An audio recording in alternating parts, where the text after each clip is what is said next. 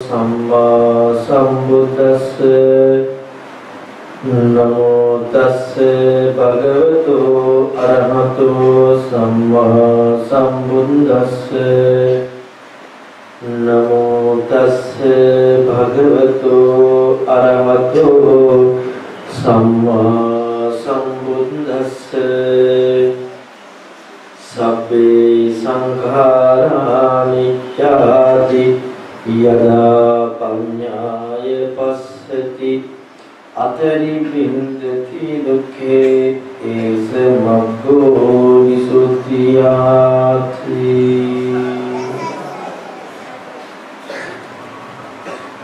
ශ්‍රද්ධාවන්ත පුරුතුනි අද දින මෙම නිවසේ බුදුරජාණන් වහන්සේ වදාළ උතුම් ධර්ම කාරණා කිහිපයක් ඉගෙන ගන්න. ධර්ම ශ්‍රවණය පුණ්‍ය ධර්මයක් තමන්ගේ ජීවිතේ දෙක කරගන්න මේ පින්වතුන් අදහස් කරන්නේ දුනේ සුජීවත්ව සිටින තම ආදරණීය දෙමව්පියන්ට ධර්ම අවබෝධ කර ගැනීම සඳහා උපකාරයක් පිණිස සහ මේ අසල්වාසීන්ට ධර්ම දානයක් පිරිනැමීම කියන අරමුණ මුල් කරගෙන. ඉතින් මේ පින්වතුන්ගේ මූල මූලිකම පරමාර්ථය ධර්ම අවබෝධය කිරීම සඳහා මේ ධර්ම දේශනාව උපකාර කරගන්නවා කියලා. ඉතින් ඒ නිසා මම කල්පනා කරා මේ පින්වතුන්ට අවබෝධය වීම පිණිස උපකාර වන හේතු වන දහම් පරියායක්ම දහම් කාරණා ටිකක්ම පැහැදිලි කරලා දෙන්න. මොකද ධර්ම දේශනා කිරීමේ අවශ්‍යතාවය තීරුම් ගන්න නිසා. එහෙනම් අපේ ජීවිතයේ සත්‍ය අවබෝධය කරා යෑම පිණිස තමයි බුදුන් වදාළ ධර්මය තියෙන්නේ. මෙච්චර කාලයක් අපි සංසාරේ ගමන් කරේ බුදුරජාණන් වහන්සේ පෙන්වා දුන්න තමන්ගේ ජීවිතය අවබෝධ කරගත යුතු සත්‍ය තම තමන්ගේ ජීවිතය තුළින් අවබෝධ නොකරගත්ත නිසා අනාගතයේ අපි සංසාරේ ගමන් කරන්නේ තමන්ගේ ජීවිතයේ සත්‍ය තමන් අවබෝධ නොකරගත්ත නිසා දැන් මේ ලැබිච්ච අවස්ථාව තුළ අපට පුළුවන්කමක් ලැබුණොත් බුදුරජාණන් වහන්සේ පෙන්වවදාළ අපේ ජීවිතයේ සත්‍ය අපට අවබෝධ කරගන්න සත්‍ය දකින්න අපට මේ සසර ගමන කෙලවර කරන්න පුළුවන්කමක් ලැබෙනවා. මේකතුලේ බුදුරජාණන් වහන්සේ පෙන්වා දෙනවා අවිද්‍යා නීවරණානම් සත්තානම් තණ්හා සංයෝජනානම් සංධාවිතං සංසරිතං මේ සසර ගමන් කරන්නේ ඇයි? අතීතයේ ඉඳලා ආවේ අනාගතයේ යන්නේ කුමන හේතුවක් නිසාද?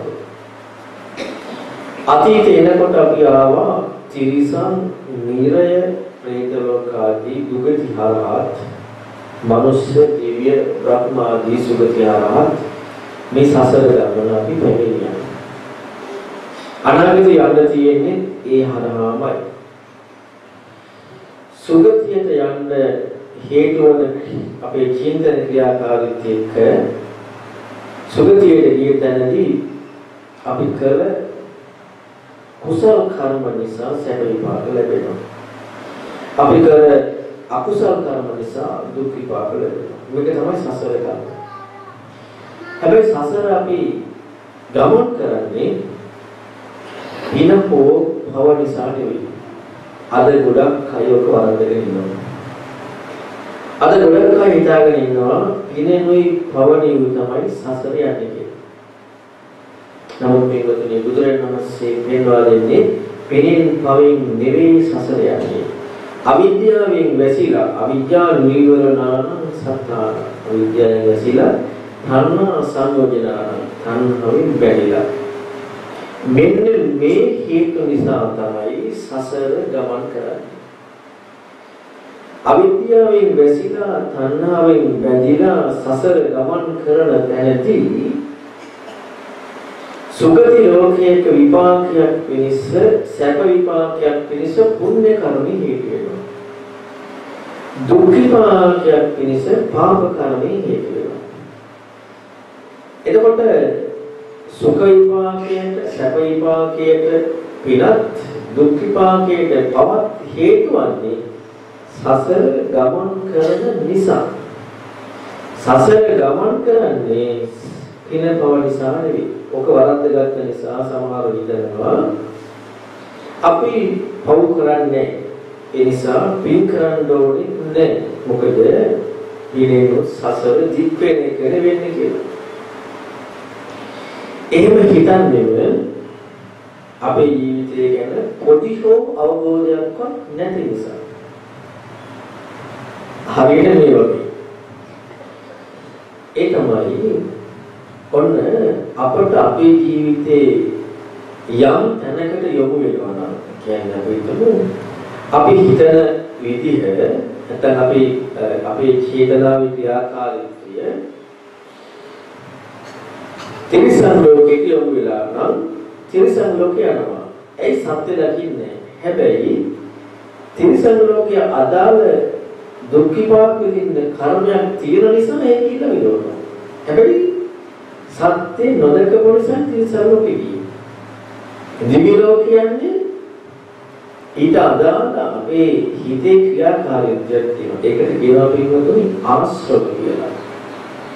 ආශ්‍රව කියලා කියන්නේ සත්‍ය දකින්න නැති නිසා සත්‍ය දකින්නවා කියලා කියන්නේ දුක කියන්නේ අවබෝධ කර යුත්තක්. දුක හටගන්න හේතුවක් තියෙනවා. මේක අවබෝධ කරගන්න ඕනේ. ඒ හේතුව දුරු වීමෙන් දුක නැති වෙනවා.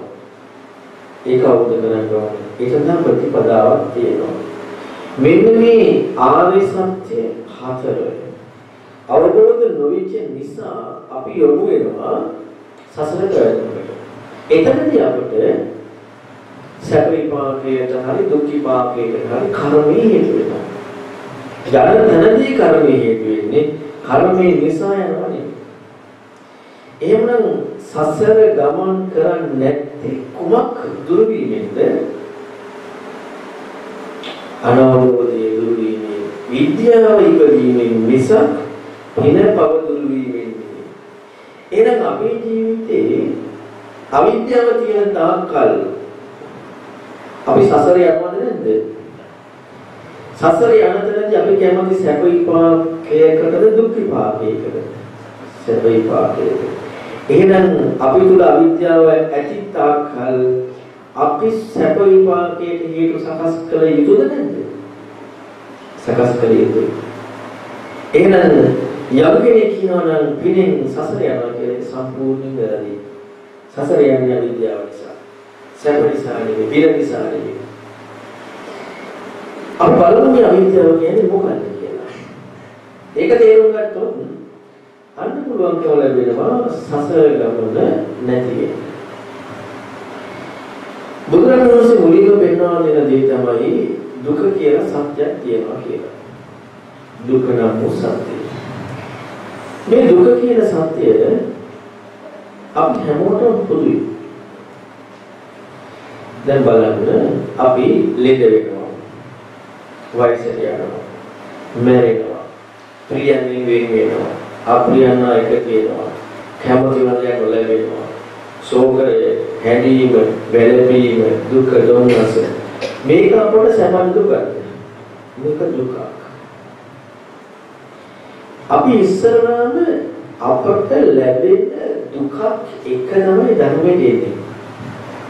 ඉස්සරහම බලන්න ඕනේ අපට හම්බ වෙන අපට තේරෙන දුකක් පිළිබඳව. මේ දුක අපිට එන තැනදී අපි කරන්නේ මොකද්ද? අපි හැමෝගෙම කැමැත්ත මොකද්ද?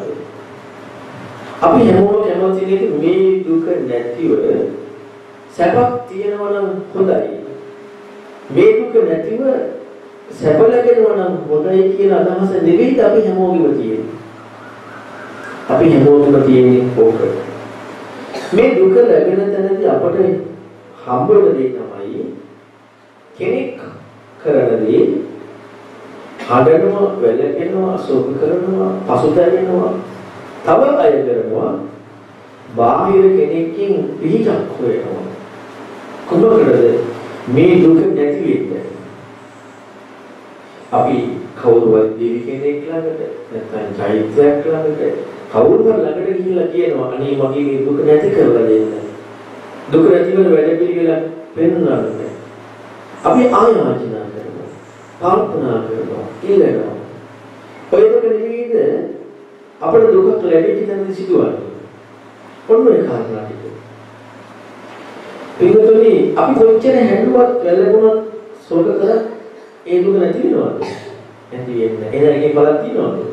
ඒක කරා කියලා බලක් නැහැ.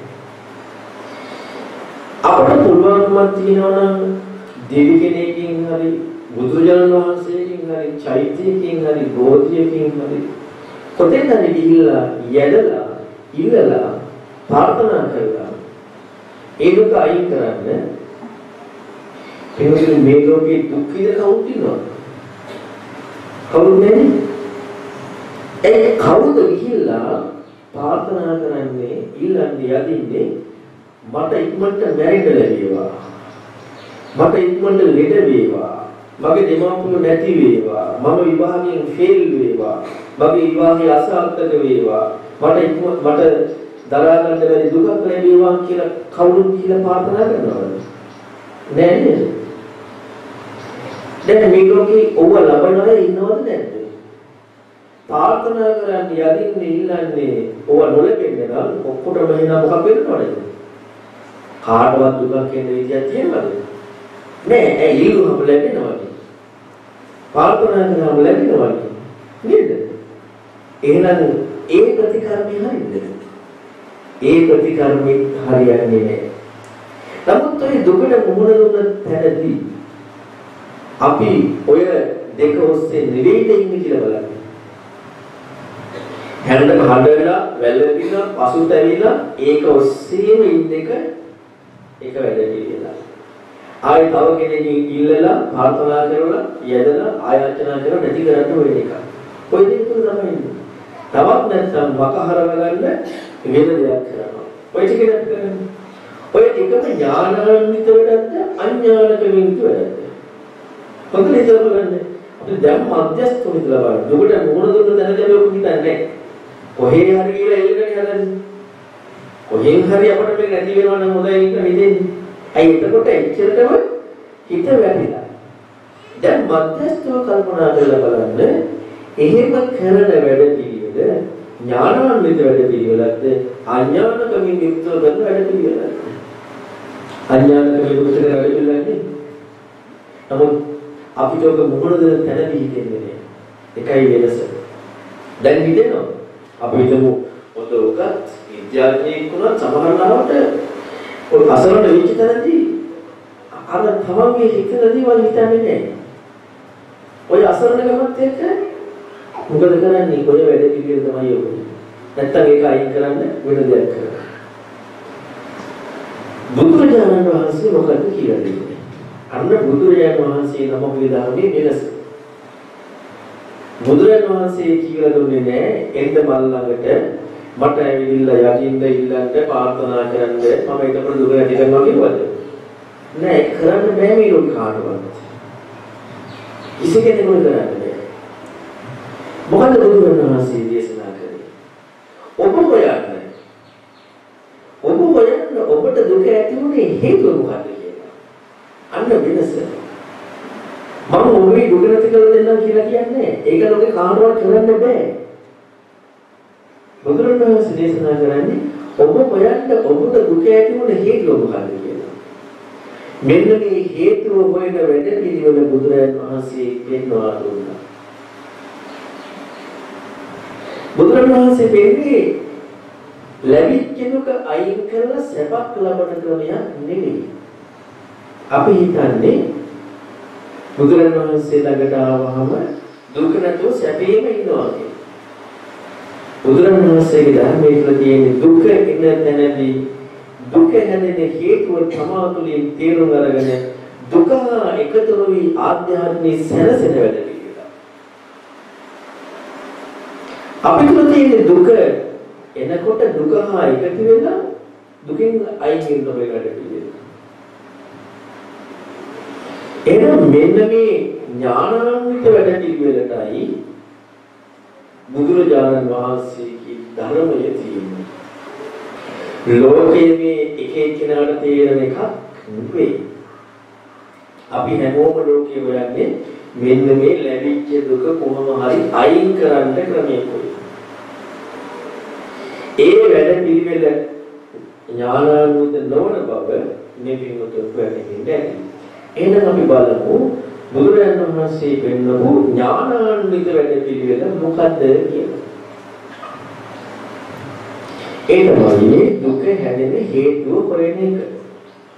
වෙන එකක් නෙවෙයි. ඇයි දුක හැදුනේ කියලා හොයන්න කියනවා. මම ඒකට පුංචි උදාහරණයක් මුලින්ම පැහැදිලි කරලා ඔය මේ ධර්ම කාරණාව තේරුම් ගන්න බලන්න. අපිට ඉස්සෙල්ලාම තේරෙන එකක් එක්ක. දැන් මේ ධර්මයේ යන්න තියෙන හැම වෙලේම තේරෙන තැන ඉඳලා ගැඹුරට යන්න තියෙනවා. මේ මම සරල එකක් කියලා දෙන්නේ අපිට දැන් මෙතන තේරෙන එක. බුදුරණවහන්සේ ළඟට එක අවස්ථාවක භද්‍රගාමිනී කියලා ගුරුපති කෙනෙක්. ඇවිල්ලා බුදුරණවහන්සේ කියනවා ස්වාමීනි අතීතයේ ගැන හිතන ඒවා නැතුව අනාගතේ වෙන්න තියෙන දේවල් ගැන හිතන එකකුත් නැතුව මෙහෙම වෙනවා මෙහෙම වෙනවා කියලා හිතන ඒවත් නැතුව දැන් මට ප්‍රත්‍යක්ෂ වෙනකි ධර්මයේ කියන්නේ. ඒ අවස්ථාවේ බුදුරණවහන්සේ භද්‍රකට කියනවා භද්‍රක ඔන්න හිතන්න ඔබේ දරුවට ඔබ ආදරේ නේද? ආදරේ. දැන් ඔබේ දරුවා මේ දවස්වල දුර ඈත පළාතක ඉගෙන ගන්න කියලා ඉන්නේ. ඔබේ දරුවට කරදරයක් වුණා කියලා ඇහුනොත් අපිට ලෙඩ වුණා, මැරුණා කියලා ඇහුනොත් ඔබට මොකක්ද ඇති ලොකු දුකක් ඇති ඔබ හිතන්නේ ඔබ දන්නේ අහල පහල දරුවෙකුට මේ විදිහටම කරදරයක් වුණා කියලා ඔබට ආරංචි වුණොත් ඔබේ දරුවට කරදරයක් වුණා වගේ ඇති වෙන දුකක් ඔබට ලැබෙනවද? ලැබෙන්නේ නැහැ. එහෙනම් ඇයි එහෙම වෙනසක් ඇති වෙන්නේ කියන්නේ? ආදරේ ආසාව. තව උදාහරණයක් කියනවා. ඔබේ බාහිරයාව නැත්නම් දරුවගේ අම්මා ඔබ එයාට ගොඩක් කරදරෙන්නේ නැහැ. ආදරේ. එයාට කරදරයක් වුණොත් එහෙම ඔබට දුකක් ඇතිවෙනවද නැද්ද? ඇති වෙනවා. ඔබේ ඒ භාවයාව නැත්නම් දරුවගේ අම්මා ඔබට හම්බ වෙන කලින් මනුස්සරු ජීවත් වෙලා කියන්නේ ඒ කාලේ යන කරදරයක් වෙනවා. එතකොට ඔබට දුකක් ඇතිවෙනවද නැද්ද? ඇති වෙන්නේ නැහැ. ඒක දැන් දුකක් ඇති වුණාම ඇයි දුකක් කියන්නේ? කොහොමද හේතුව? ආදරේ නෙමෙයි. ආසාව නෙමෙයි. එහෙනම් දුකට හේතු වෙන්නේ මොකද්ද? ආසාවයි. වෙන දෙයක් නෙවෙයි. ඒක තමයි මේ මූලිකව අපට ගොරෝසුනේ තීරණ මට්ටම.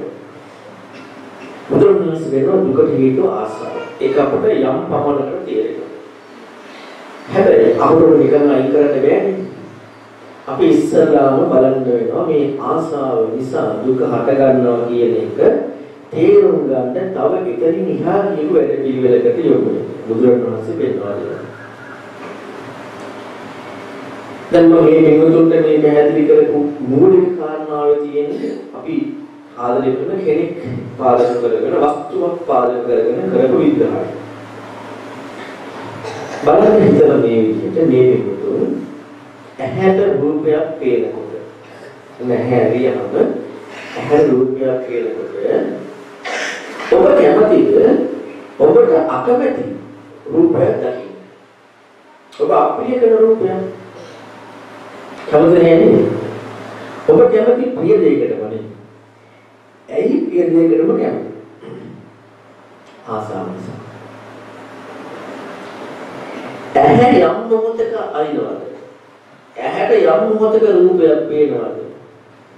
ඇහැ ලෝකීහා විරුද්ධ කරන්නේ කුමක් පාදක කරගෙනවද? ආස්‍රාව පාදක කරගෙනමනේ. ඒ නිසා තමයි අකමැති දේ එනකොට ගැටෙන්නේ. කැමති දේ එනකොට ඇලෙන්නේ. ඔබ කැමතිද කනට සබ්ජයක් ඇහෙනකොට අකමැති සබ්ජයක් අහන්න? කනට සබ්ජයක් ඇහෙන්න යොමු කරන තැනම ඔබ තුල තියෙන්නේ ආසාව නෙමෙයි. ඇයි මිහිරි දේ තමයි කැමති. කන ලෝකීයම එකතු තැනම තියෙන ආසාව. නාසයත් එක්ක ලෝකෙ එකතු වෙනකොට ආග්‍රහණය කරද්දී ඔබ කැමැත්ත තියෙන්නම හොඳ දෙයකනේ. නාසය ලෝකීය එකතු වෙනකොටම තියෙන ආසාව. දිවට රස එකතු වෙනකොට තියෙන්නේ ආසාව.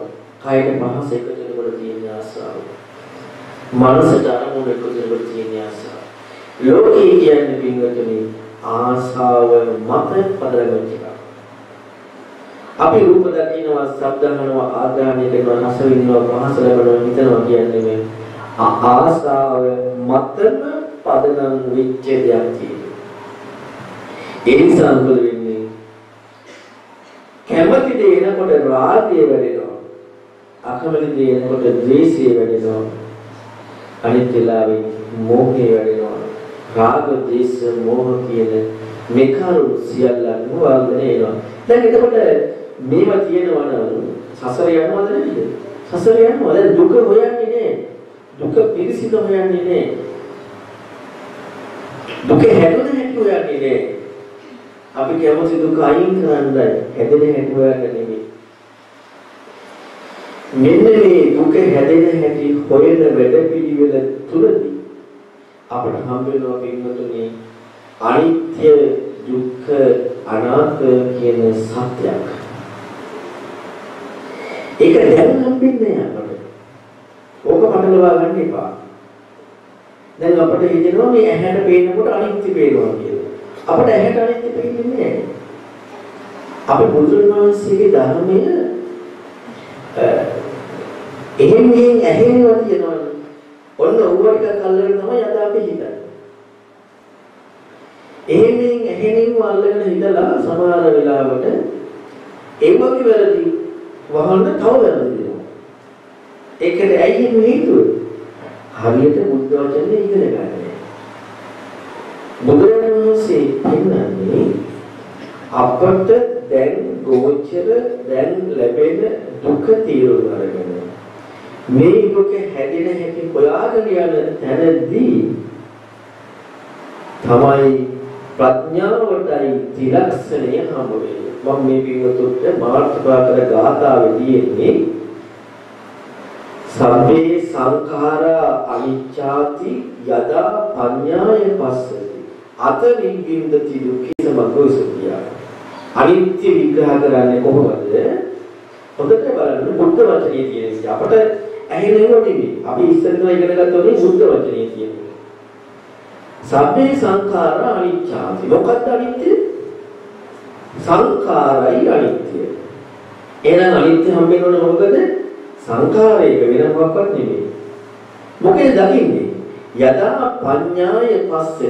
සංස්කාර අනිත්‍යයි කියලා දකින්නෝකෙන්ද ප්‍රඥාවේ. මොකේද දකින්නේ? ප්‍රඥාවේ. අත නිමින්දති දුක්ඛේ එතකොට දුකට කලකිනවා ඒ සමග්ගෝ සුද්ධ එයයි විමුක්තියට මඟ දැන් ඔන්න අපි අද අනිත්‍යයක් තේරුම් ගන්නවානේ ඒක තේරුම් අරගෙන ඒක වැරදි කියලා තවත් සම්පත අපි දෙනවා අද අපිට මේ තේරෙන අනිත්‍ය මොකද්ද? ලෝකේ ඉස්සරලාම තේරෙන අනිත්‍ය. දැන් මගේ ඉස්සරහා තියෙන මොකද්ද වීදුරුව. මේ වීදුරුව බින්දනවනේ. එතකොට අපි දන්නවා මොකද්ද ඒක? අනිත්‍ය වුණා කියනවනේ. ඒ අනිත්‍ය බව හම්බ වුනේ මොකේදද? ඇහැටනේ. බුදුන් වහන්සේ අනිත්‍ය දකින්න කියන්නේ මොකෙන්ද? ප්‍රඥාවෙන්. දැන් මේ ගොඩ නැගීම අපි දකින්නවා නේද කල්පනා කරලා හරි හිතලා හරි මේක තව කාලයක් යනකොට විනාශ වෙලා යනවා. අපේ කය කුණු වෙලා විනාශ වෙලා යනවා. දැන් අපි මොකක්ද හිතුවේ අනිත්‍යයක් කියලා නේද? ඒ අනිත්‍ය හම්බුනේ මොකේදද? මනසට නේද? බුදුරණවහන්සේ දකින්න කියන්නේ මොකේද අනිත්‍ය? ප්‍රඥාව. එතකොට අපි මෙච්චර කාලයක් අනිත්‍ය අනිත්‍යයි කියලා හිතන් ඉඳලා අපි මොනවා හෝ අනිත්‍යට හෙව්වට බුදුරණවහන්සේ පෙන්වා දුන්නේ අනිත්‍ය කුමකද කියන්නේද? සංස්කාරයේ කුමකින්ද කියන්නේද? ප්‍රඥාවෙන්. අපි දැක්කේ මොකේද? එක්ක ඇහෙන්, එක්ක කනෙන්, එක්ක නාසයෙන් හම්බෙනදී නැත්නම් මානසික කල්පනා කරනවා. බුදුරජාණන් වහන්සේ කිව්වේ දැන් අපි ඕක වැරදි කියලා උනේ තව කෙනෙක් තව විග්‍රහයක් දෙනවා. දැන් අපිම වැරදි දෙයක් අල්ලගෙන තව කෙනෙක් කියනකොට ඒක තව ඒක වැරදි කියලා තව විග්‍රහයක් දෙනවා. හැබැයි ඒ කවුරුවත් බුදුරජාණන් වහන්සේ කිව්වේ හොයලා නැහැ. බුදුරජාණන් වහන්සේ ඇහෙන් දකින්න කිව්වෙත් නෑ අනිත්‍ය. දකින්න කිව්වෙත් සංස්කාරයක. දකින්න කිව්වෙත් ප්‍රඥා චක්කසි. එහෙනම් දැන් අනිත්‍ය කියන එක තේරුම් ගන්න කලින් අපිට තව කොච්චර දෙයක් තේරුම් ගන්න තියෙනවද?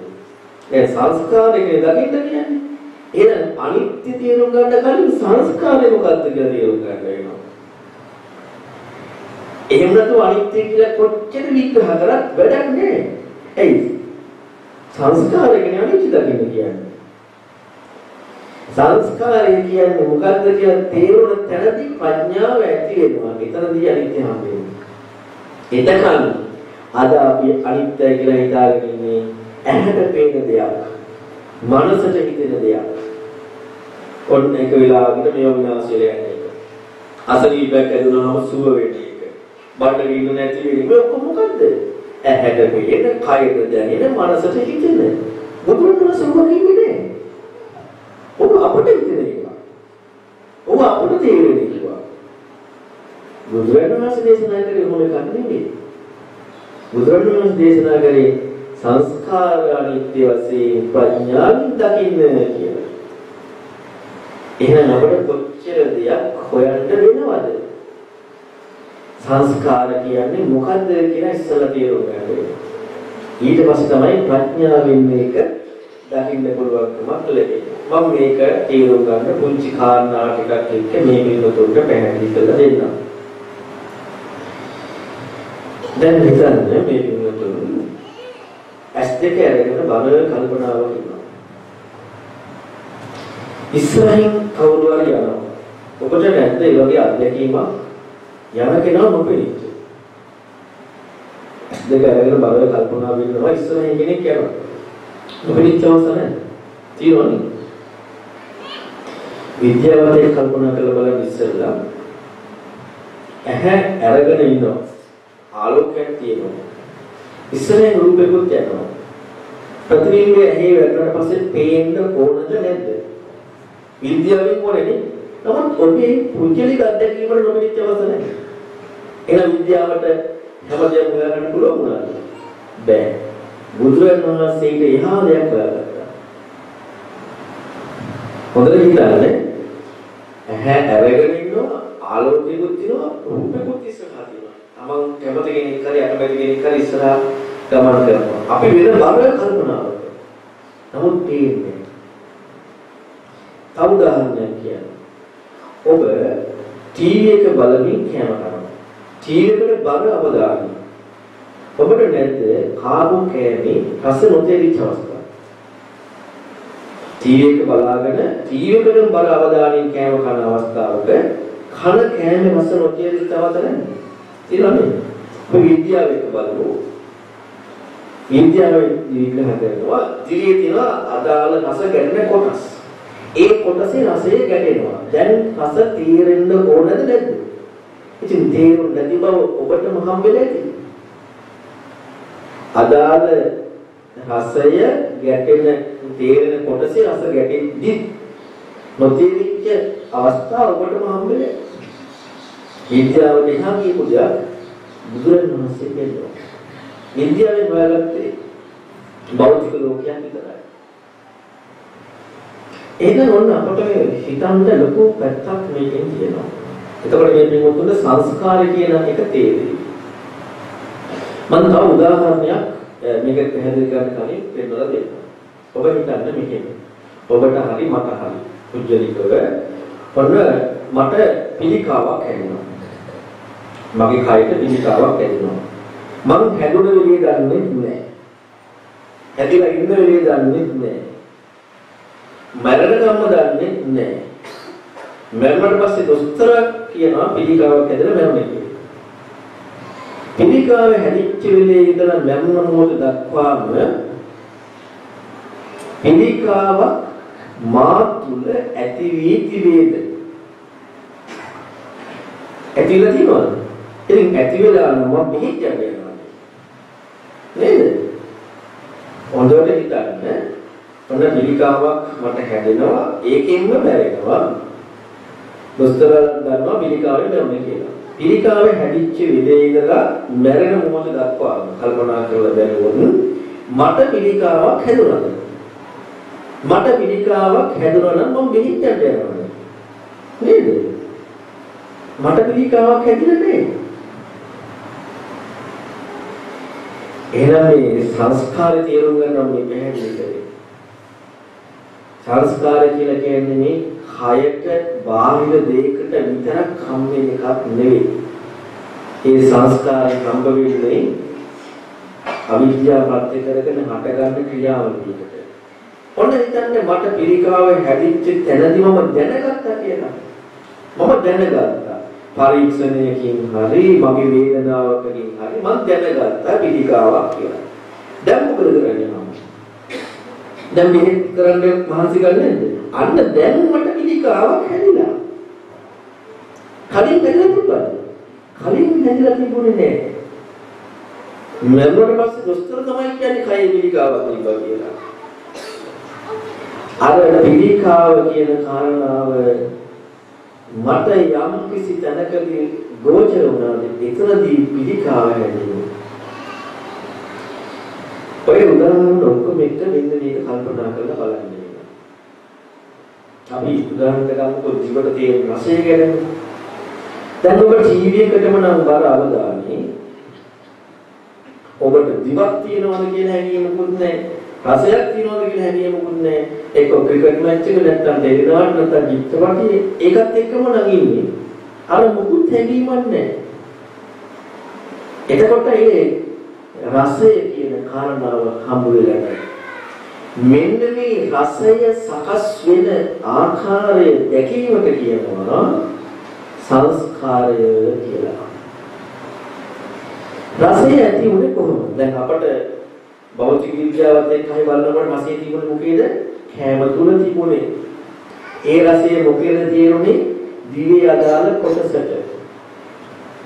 තිබි කෑම තුල තිබිච්ච රස දිවේ අදාළ කොටසට ඇයි අපි ටීවී එක බලමින් ඉඳන්දි තේරුන්නේ නැත්තේ? ටීවී එකට අවධානය යොමු වෙලා ඉඳන්දි අර කෑම තුල තිබිච්ච රසය ඒ දිවේ කොටසට තේරුන්නේ නැත්තේ ඇයි? ඒක අපි හිතන දෙයක්. එහෙනම් රසය ඇති වෙන්නට දිවට යොමු වෙන්න ඕනේ අවධානය. ඒකට එක දිවි විඥානය ඇති වෙන්න ඕනේ. ඒකට කරුණු ගොඩක් එකතු වෙන්න ඕනේ. දිව රසයත් දිවි විඥානයත් කියන මේ කරුණු ටික එකතු වුණ තැනට මොකද වෙන්නේ?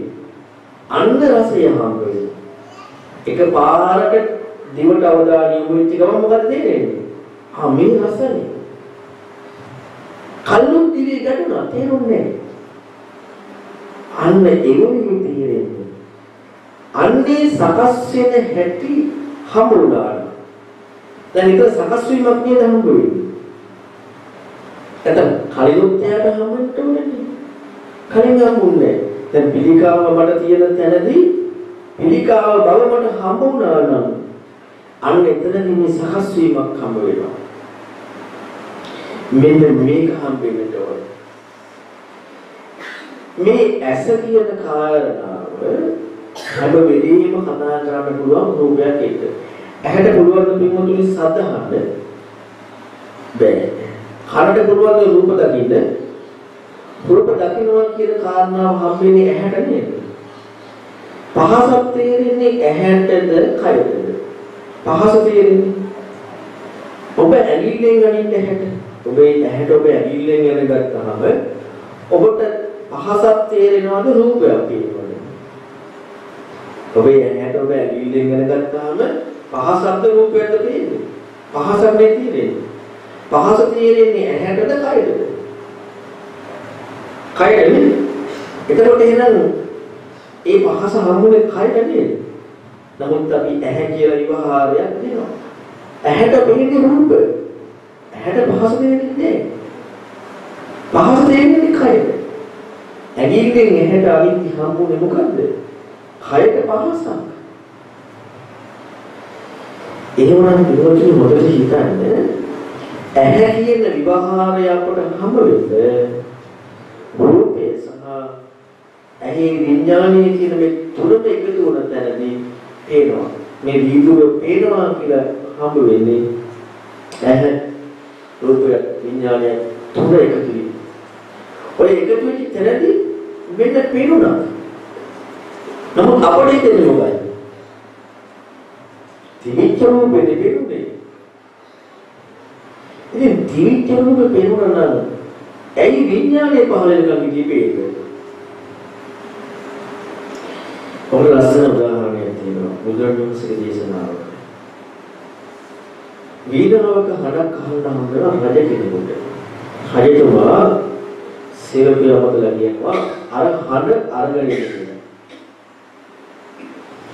සේවක ගිහිල්ලා වීණාවයි දණ්ඩයි අරන් එනවා. අරන් ආවට පස්සේ රජතුමා කියනවා කොවර හඩ කියලා. ඒ අවස්ථාවේ සේවකෝ කියනවා ස්වාමීනි හඩ කියන්නේ වීණාව දණ්ඩේ වාදනය කරද්දී හට ගන්න දෙයක්. තියෙන එකක් නෙමෙයි හට ගන්න දෙයක්. දැන් මට හඩ පෙන්නන්නේ හඩ පෙන්නන්නේ. හඩ කියන්නේ තියෙන එකක් නෙමෙයි. ඇති දෙයක් නෙමෙයි හට ගන්න දෙයක්. වීණාව දණ්ඩෙන් වාදනය කරන්න ඕනේ. වීණාවේ හඩ නේ. දණ්ඩෙත් හඩ නේ. හේතු ඇති තැන හටගත්ත එතකොට හඬ කියන එක හම්බ වෙන්නේ සකස් වීමක් එක්ක නේද? සකස් වීමක් එක්ක හඬගත්ත හඬ තියෙන දෙයක්ද? ස්ථිර දෙයක්ද? ඇයි ස්ථිර නැත්තේ? ඒක අර හේතු නිසා තියෙන්නේ. හේතු නැති තැන හඬක් කතා කරන්න බෑ. අපිට පේනවා කියන්නේ මොකද්ද? ඇස රූප විඥාන තුන එකතු වූ නිසායි පේන්නේ. අපට හිතෙන්නේ තිබ්බ රූපයක් පෙනුණා කියලා. අපි හිතනවා අර හඩ තිබ්බේ වීණාවේ කියලා. හඩ වීණාවේ තිබ්බනම් වාදනය කරන්න නැතුව ඉති ඇහෙන්න ඕනේ. හඩ වීණාවේ තිබ්බේ නෑ. හඩ දන්නේ තිබ්බෙත් නෑ. හඩ මොකක්වත් තියෙන එකක් නෙමෙයි. හඩක් හම්බ වෙන්නේ හට ගැනීමක් එක්ක. ඒ වගේ අපට පේනවා කියන්නේ ඇස රූප විඥාන මෙන්න මේ තුන එකතු වුණ තැනටයි පේනවා කියලා කියන්නේ. දැන් අපි මේ ඌප්පේ නැති වෙන හැටි දැක්කේ මොකෙන්ද අනිත්‍යයි කියලා ඇහැටනේ. බුදුරජාණන්සේ පෙන්නන්නේ අනිත්‍ය කියලා විග්‍රහ කරන තැනදී දැන් අපි හිතන්නේ අපි මෙච්චර කාලයක් දන්නේ අපට තේරෙන්නේ අනිත්‍ය කියනකොට නැති වෙන්න ඕන කියලා. අනිත්‍ය කියන වචනේ ස්ථිර නැහැ. ඒක ඇත්ත. ඒක තමයි නිවැරදි අර්ථය. අපි ස්ථිර නැත්තේ කියලා කාරණාවට යන්නේ නැති වෙන්න ඕනේ කියන එක. දැන් මේ ගොඩ නැගිට මේ ගෙදර අනිත්‍යයි කියන්නේ කුඩු වෙන්න ඕනේ නේද අපට? ඇහැට පේන්නේ නමුත් බුදුරණවහන්සේ පෙන්වලා දුන්නේ ඇහැට දකින්න එකක් නෙමෙයි. කුඩු දෙයකට නෙමෙයි. ස්ථිරය කියන්නේ. පදනමක් පෙන්වා දෙනවා. ස්ථිර නැත්තේ යම් හේතු ටිකක් එක්කනම් තියෙන්නේ. තව දෙයක් ආධාරයෙන් නම් තියෙන්නේ. යම් හේතු ටිකක් ආධාරය මතම නම් තියෙන්නේ. ඒ කාරණාව ස්ථිර නැහැ. අපිට පේනවා කියන්නේ මේ වීදුරුවක් පේනවා කියන්නේ ඇසයි රූපයයි විඥානය එකතු වෙච්ච නිසා පේන්නේ. ඔන්න ඔය මේ හේතු නිසා දැක්කේ කියලා මෙන්න මේ ක්‍රියාවට කියනවා සංස්කාරය කියලා. සංස්කාරය කියන වචනේ තේරුම සකස් වෙනවා කියන එක. එහෙමනම් අපට සකස් වීම හම්බ වෙන්න ඕනේ නේද අනිත්‍යයක් තේරුම් ගන්න. ඇයි අනිත්‍ය දකින්න කියන්නේ මොකකද? සංස්කාරයක කෝප් එක නෙමෙයි. සංස්කාරයක. එහෙනම් සංස්කාරයක් ඉස්සරලාම තේරුම් ගන්න. සංස්කාරයක් තේරුම් ගත්ත කියලා කියන්නේ සකස් වීමක් අහුණා කියන්නේ. හැදෙන හැටි හම්බ වුණා කියන එක. හැදෙන හැටි හම්බීමටයි සංස්කාරය කියලා කියන්නේ. හැදුනේ මේ හේතු නිසා මේ හේතු මතමයි තියෙන එක හේතුවක් කර නැත්තම් හැදෙන්නේ නැහැ. ඇහැයි රූපයයි විඥානයයි කියන තුනෙන් එකක් හරි නැත්තම් පේන්නේ දිවයි රසයයි විඥානයයි කියන තුනෙන් එකක් හරි නැත්තම් රස දැනෙන්නේ නමුත් අපි හිතන්නේ රස කෑමේ තිබ්බ කියලා. අපිට තියෙන රසයේ කෑමේ තිබ්බ කියලා නේද? ඉතින් විඥානේ පහළ නොවුනම රස තේරෙන්නේ නැහැ. ඒකම කනවනේ. නමුත් තේරෙන්නේ එහෙනම් රස කියන්නේ සකස් වීම මෙන්න මේ හේතු නිසා හටගත්තේ. එහෙම දැක්කතනදී ඒ සකස් වීම නම් වූ රසය තියෙන දෙයක්ද? මේ කෑමේ රසය නම් අපි දන්නවා තියෙනවා කියලා. සකස් වීම නම් වූ රසය තියෙන දෙයක් නෙමෙයි හට ගන්න දෙයක්. ඕක අපිට කල්පනා කරන්න හම්බෙන්නේ. ඔය වැඩ පිළිවෙල අපිට ඇහැට පේන්නේ නැහැ. මනසට හම්බෙන්නේ නැහැ. ඔක මොකෙන්ද හම්බෙන්නේ? ප්‍රඥාවට. එහෙනම් මේ අනිත්‍ය දකින්න කිව්ව මොකෙන්ද? ප්‍රඥාවෙන්නේ. සංස්කාරයක දකින්න ඕනේ. එහෙනම් සංස්කාරයේ හැදෙන හැටි හම්බ වෙච්ච තැනදී අන්න හම්බ වෙයි අපි තුල ගොඩ නැගෙනවා මොකද්ද ප්‍රඥාව. ඒක මානසික අරමුණක් නෙවෙයි. දැන් අද අපි විග්‍රහ කරන ඔක්කොම මොනවද? මනසට එන අරමුණු. මනසට එන අරමුණු විග්‍රහ කර කර යන්නේ. නමුත් ප්‍රඥාව කියන්නේ මනසට එන අරමුණක් නෙවෙයි. දැන් මේ පින්වතුන්ට මම කිව්වා ඇහැට රූපේ පේන්නේ මේ කන තුන එකතු වීම. මනසට අපි හිතන්නේ කොහොමද? ඒ මනසයි අරමුණයි විඥානයයි ඔය තුන එකතු වුණාම හිතන්නේ. එතනක් තියෙන ওই පදනමයි. මේක තව ටිකක් තේරුම් ගන්න තව උදාහරණයක් කියන්න. මොන හිතන්නේ මම මගේ අම්මා කියනවා. මගේ තාත්තත් අම්මා කියනවා. මං අම්මා දකිනකොට මට පේන්නේ කවද? අම්මනේ. තාත්තට අම්මද පේන්නේ. තාත්තා කවුද පේන්නේ? බාහිරව. ඉතින් ඉස්සරහ හිටියේ අම්මනේ ඒ තාත්තට බාහිරව පේන්නේ. දැන් මගේ ඉස්සරහ හිටියේ කවුද? අම්මා. ඒ තාත්තට බාහිරව පේ තාත්තට අම්මා පේන්නේ. අම්මගේ දෙනෝපියන්ට කවුද පේන්නේ? දුවනේ ඉතින් මට මගේ ඇහැට ඉස්සරහා අම්මා නම් හිටියේ. ඇයි තාත්තට බාහිර යවල පෙන්නලා අම්මගේ දිනෝපේ දුවක් පේන්නේ. හොඳට හිතන්නේ කාරණාව. අද අපි හිතන්නේ තියෙන දේමනේ පේන්නේ නැහැ. අපට සාමාන්‍ය ඔරලෝසු පේනකොට නම් ඔක්කොම ඔරලෝසුනේ. ඒක ඉතින් ගානක් නැහැ. ඒක හිතන්න දෙයක් නැහැ. ඔබටත් ඔරලෝසු මටත් ඔරලෝසු. නමුත් මගේ අම්මා මට පේනකොට අම්මා මට පේනවා. තාත්තට අම්මෙන් පේන්නේ. තාත්තට පේන්නේ භාර්යාව. දෙමාපියන්ට පේන්නේ දුව. ඉන්නේ අම්මා නම් එක එක්කෙනාටයි පොදු විදිහට පේන්නේ. දැන් මම ආ මේ ගෑනු කෙනෙක් මේ ගෑනු කෙනා මගේ අම්මට හිතන්න ඕනද? නෑ පේනකොට අම්මා. තාත්තා හිතනවා ආ මේ ගෑනු කෙනෙක් මේ ගෑනු කෙනා මගේ භාර්යාව හිතනවද? නෑ. පේනකොට භාර්යාව. එහෙමනම් මට අම්මා බව තාත්තට භාර්යාව බව දෙමාපියන්ට දුව බව පිට පිට එක්කිනාගෙන් සකස් වුනේ නැත්නම් ඒක හේතු නිසා තම තමන්ගේ කෝණයෙන් සකස් වෙච්ච දෙයක්. තම තමන්ගේ කෝණයෙන් සකස් වෙච්ච දෙයක්. නමුත් අපිට මේ ලෝකෙ ඔක්කොම බාහිර බාහිර දෙයක් කියන්නේ. මම තව උදාහරණයක් කියන්නම් මේක තේරුම් ගන්න. දැන් මේ මම මේ විග්‍රහ කරන්නේ අනිත්‍ය නෙමෙයි තාම. මොකද්ද? අනිත්‍ය දකින්න කියන්නේ මොකද? සංස්කාරය කියන්නේ. දැන් අපි අනිත්‍යයි කියන එක එක දේවල් විග්‍රහ කරනවා. නනිච්ච, අනිච්ච කියනවා නැතිවීම. ඒක විග්‍රහයි. ඉතින් මොන විග්‍රහයකට යන්න කලින් බුදුරන් වහන්සේ අනිත්‍ය දකින්න කිව්වේ මොකද කියලා බලන්න ඕනේ ඉස්සරලා. සංස්කාරය. එහෙනම් සංස්කාරයේ තේරුම් ගන්න නැතුව අනිත්‍ය මොන විදිහට විග්‍රහ කරත් වැඩක් නැහැ. ඒ සංස්කාරයේ තේරුම් ගන්න ඕනේ. ඔන්න ඊළඟට කොටින් යනවා බල්ලෙක්. ඊළඟ උඩින් බල්ල යනකොට වතුර දිහා බල්ලා බලනවා. බල්ලට වතුර පේන්නේ මොකද්ද? බල්ලෙක් වෙනවනේ. උන් මොකද කරන්නේ? නගොඩ වරනවා, බෝරනවා. මොකද්ද උන් හිතන්නේ? වතුරේ බල්ලෙක් ඉන්නවා කියලා හිතනවා. උන් එදන්නේ එළියට එන්න මොකද හිතන්නේ? වතුරේ බල්ලෙක් හිටියා කියලා හිතනවා.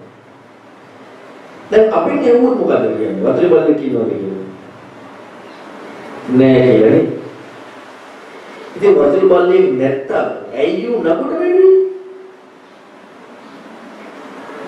වතුරේ බල්ලෙක් නැත්තම් මේ නගුට වෙන්නේ. ඇයි කිව්වේ? වතුරේ බල්ලෙක් නෑ කියන එකත් වැරදි. මොකද්ද නිවැරදිම උත්තරේ?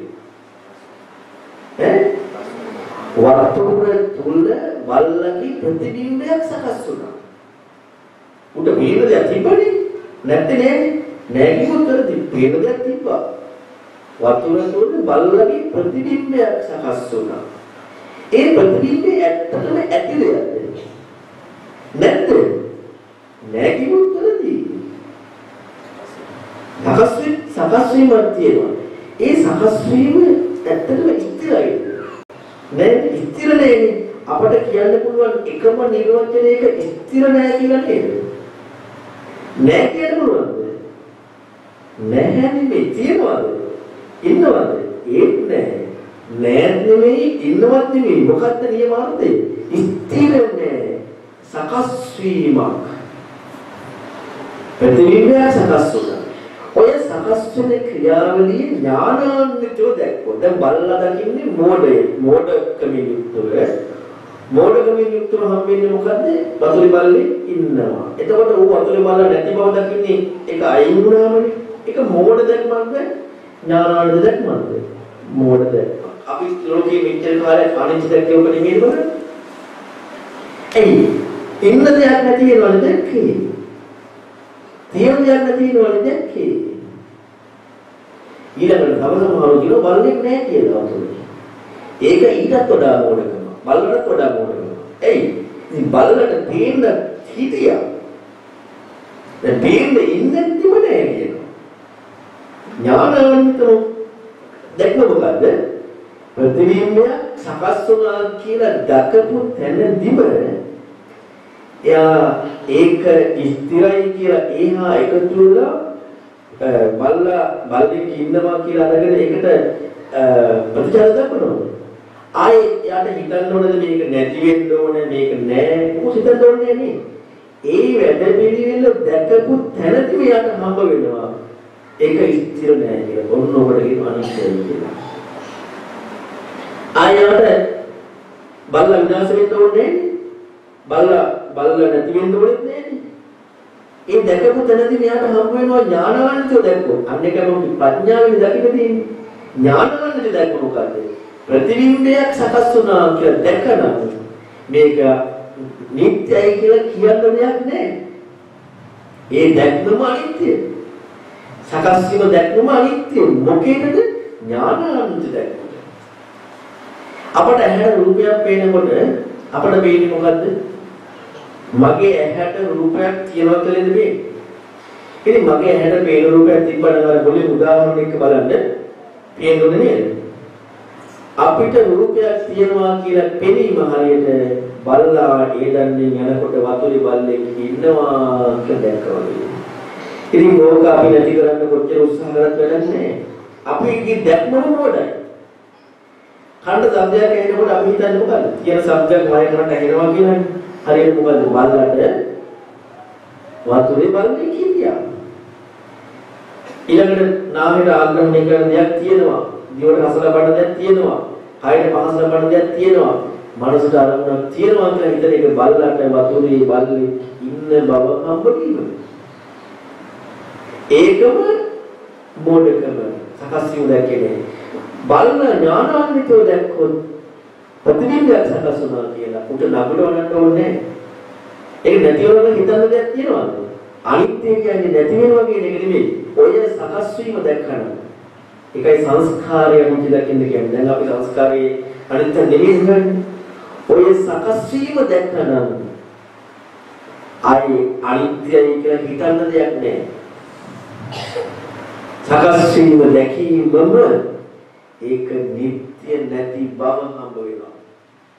ඇහැට රූපයක් පේනකොට ඥානාන්විතව හම්බුනා නම් මෙන්න මේ හේතු නිසායි මේ හටගත්තේ කියලා අර ප්‍රතිබිම්බය දැක්කා වගේ.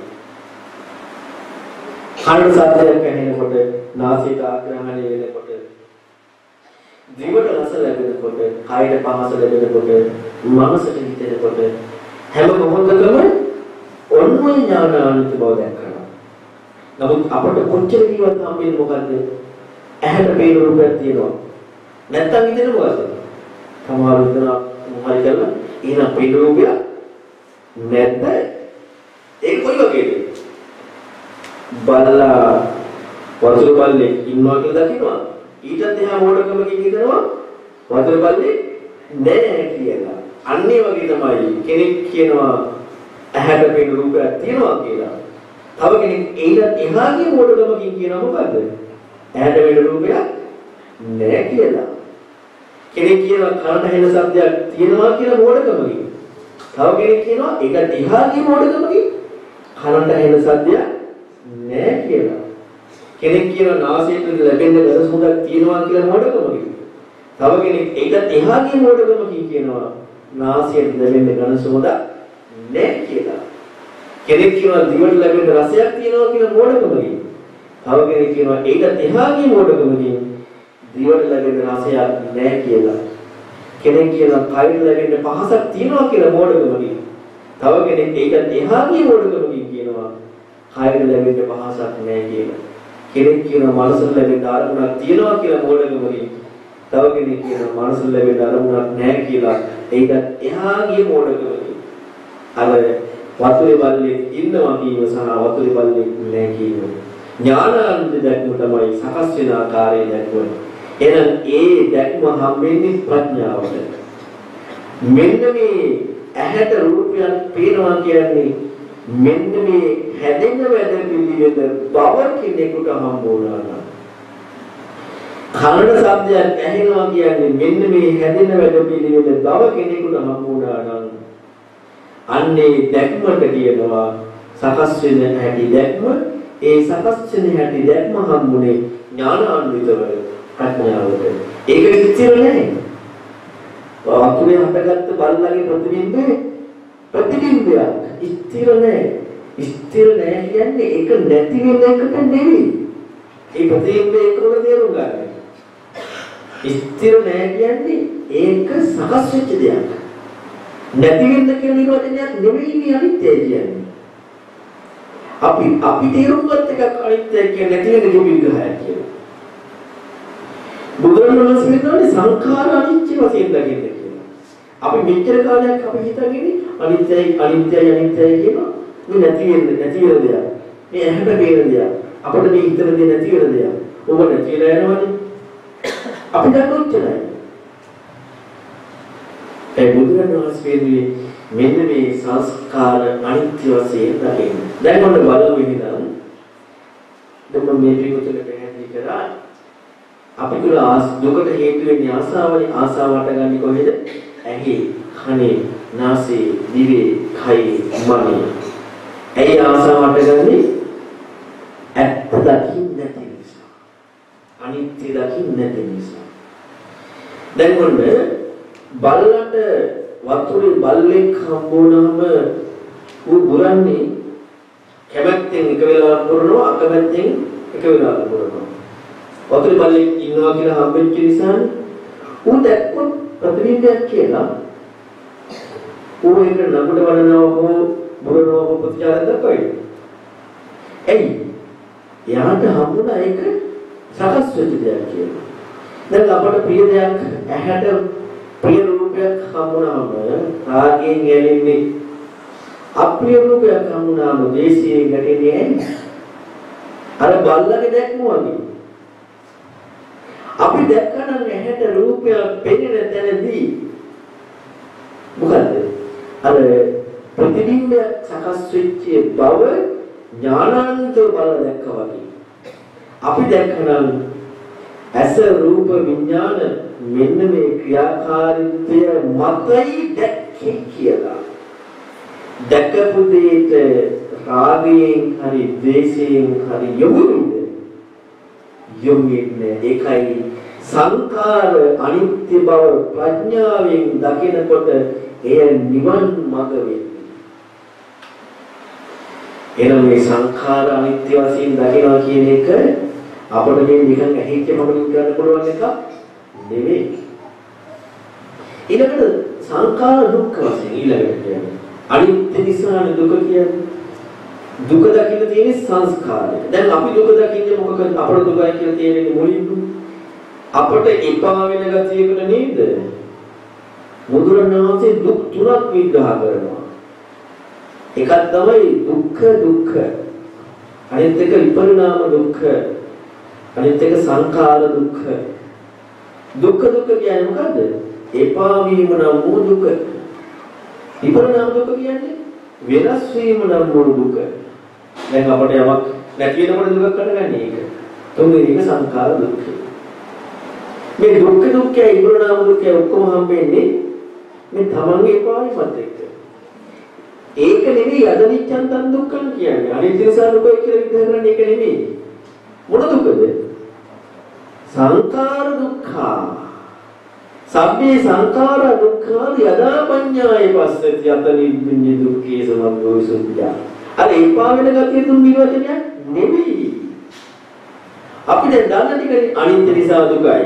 ආ එහෙනම් නැති වෙනකොට දුකක් එන්නට ඕනේ. ඊ අපි දන්න ටික අපිට තේරෙච්ච ටික අපි මෙච්චර කල හිතපු ටික බුදුරණවහන්සේ කිව්වා නෙවෙයි. බුදුරණවහන්සේ කිව්වේ අනිත්‍ය මොකද? සංස්කාරයක. දුක මොකද? සංස්කාරයක. සංස්කාර දුක බව හම් වෙන්නේ. එහෙම නැතුව මේ එපා වෙන ගතිය නෙමෙයි. අද ගොඩක් කෙනාවට නිකරුණු නොතේරෙන නිසා හරියට මේ වගේ. දැන් එදා උපන් දිලින්දා විරිදි දරුවා පුංචි දරුවා අසුචි කනවනේ. එයා හැමදේම එයාට මෙලෝඩියක් තේරෙනවා. මෙලෝඩියක් තේරෙන්නේ නැහැ. Tamanට අහු වෙන අහු වෙන ටික කනවා ඊළඟට ඇඟේ ගා ගන්නවා. ඇයි?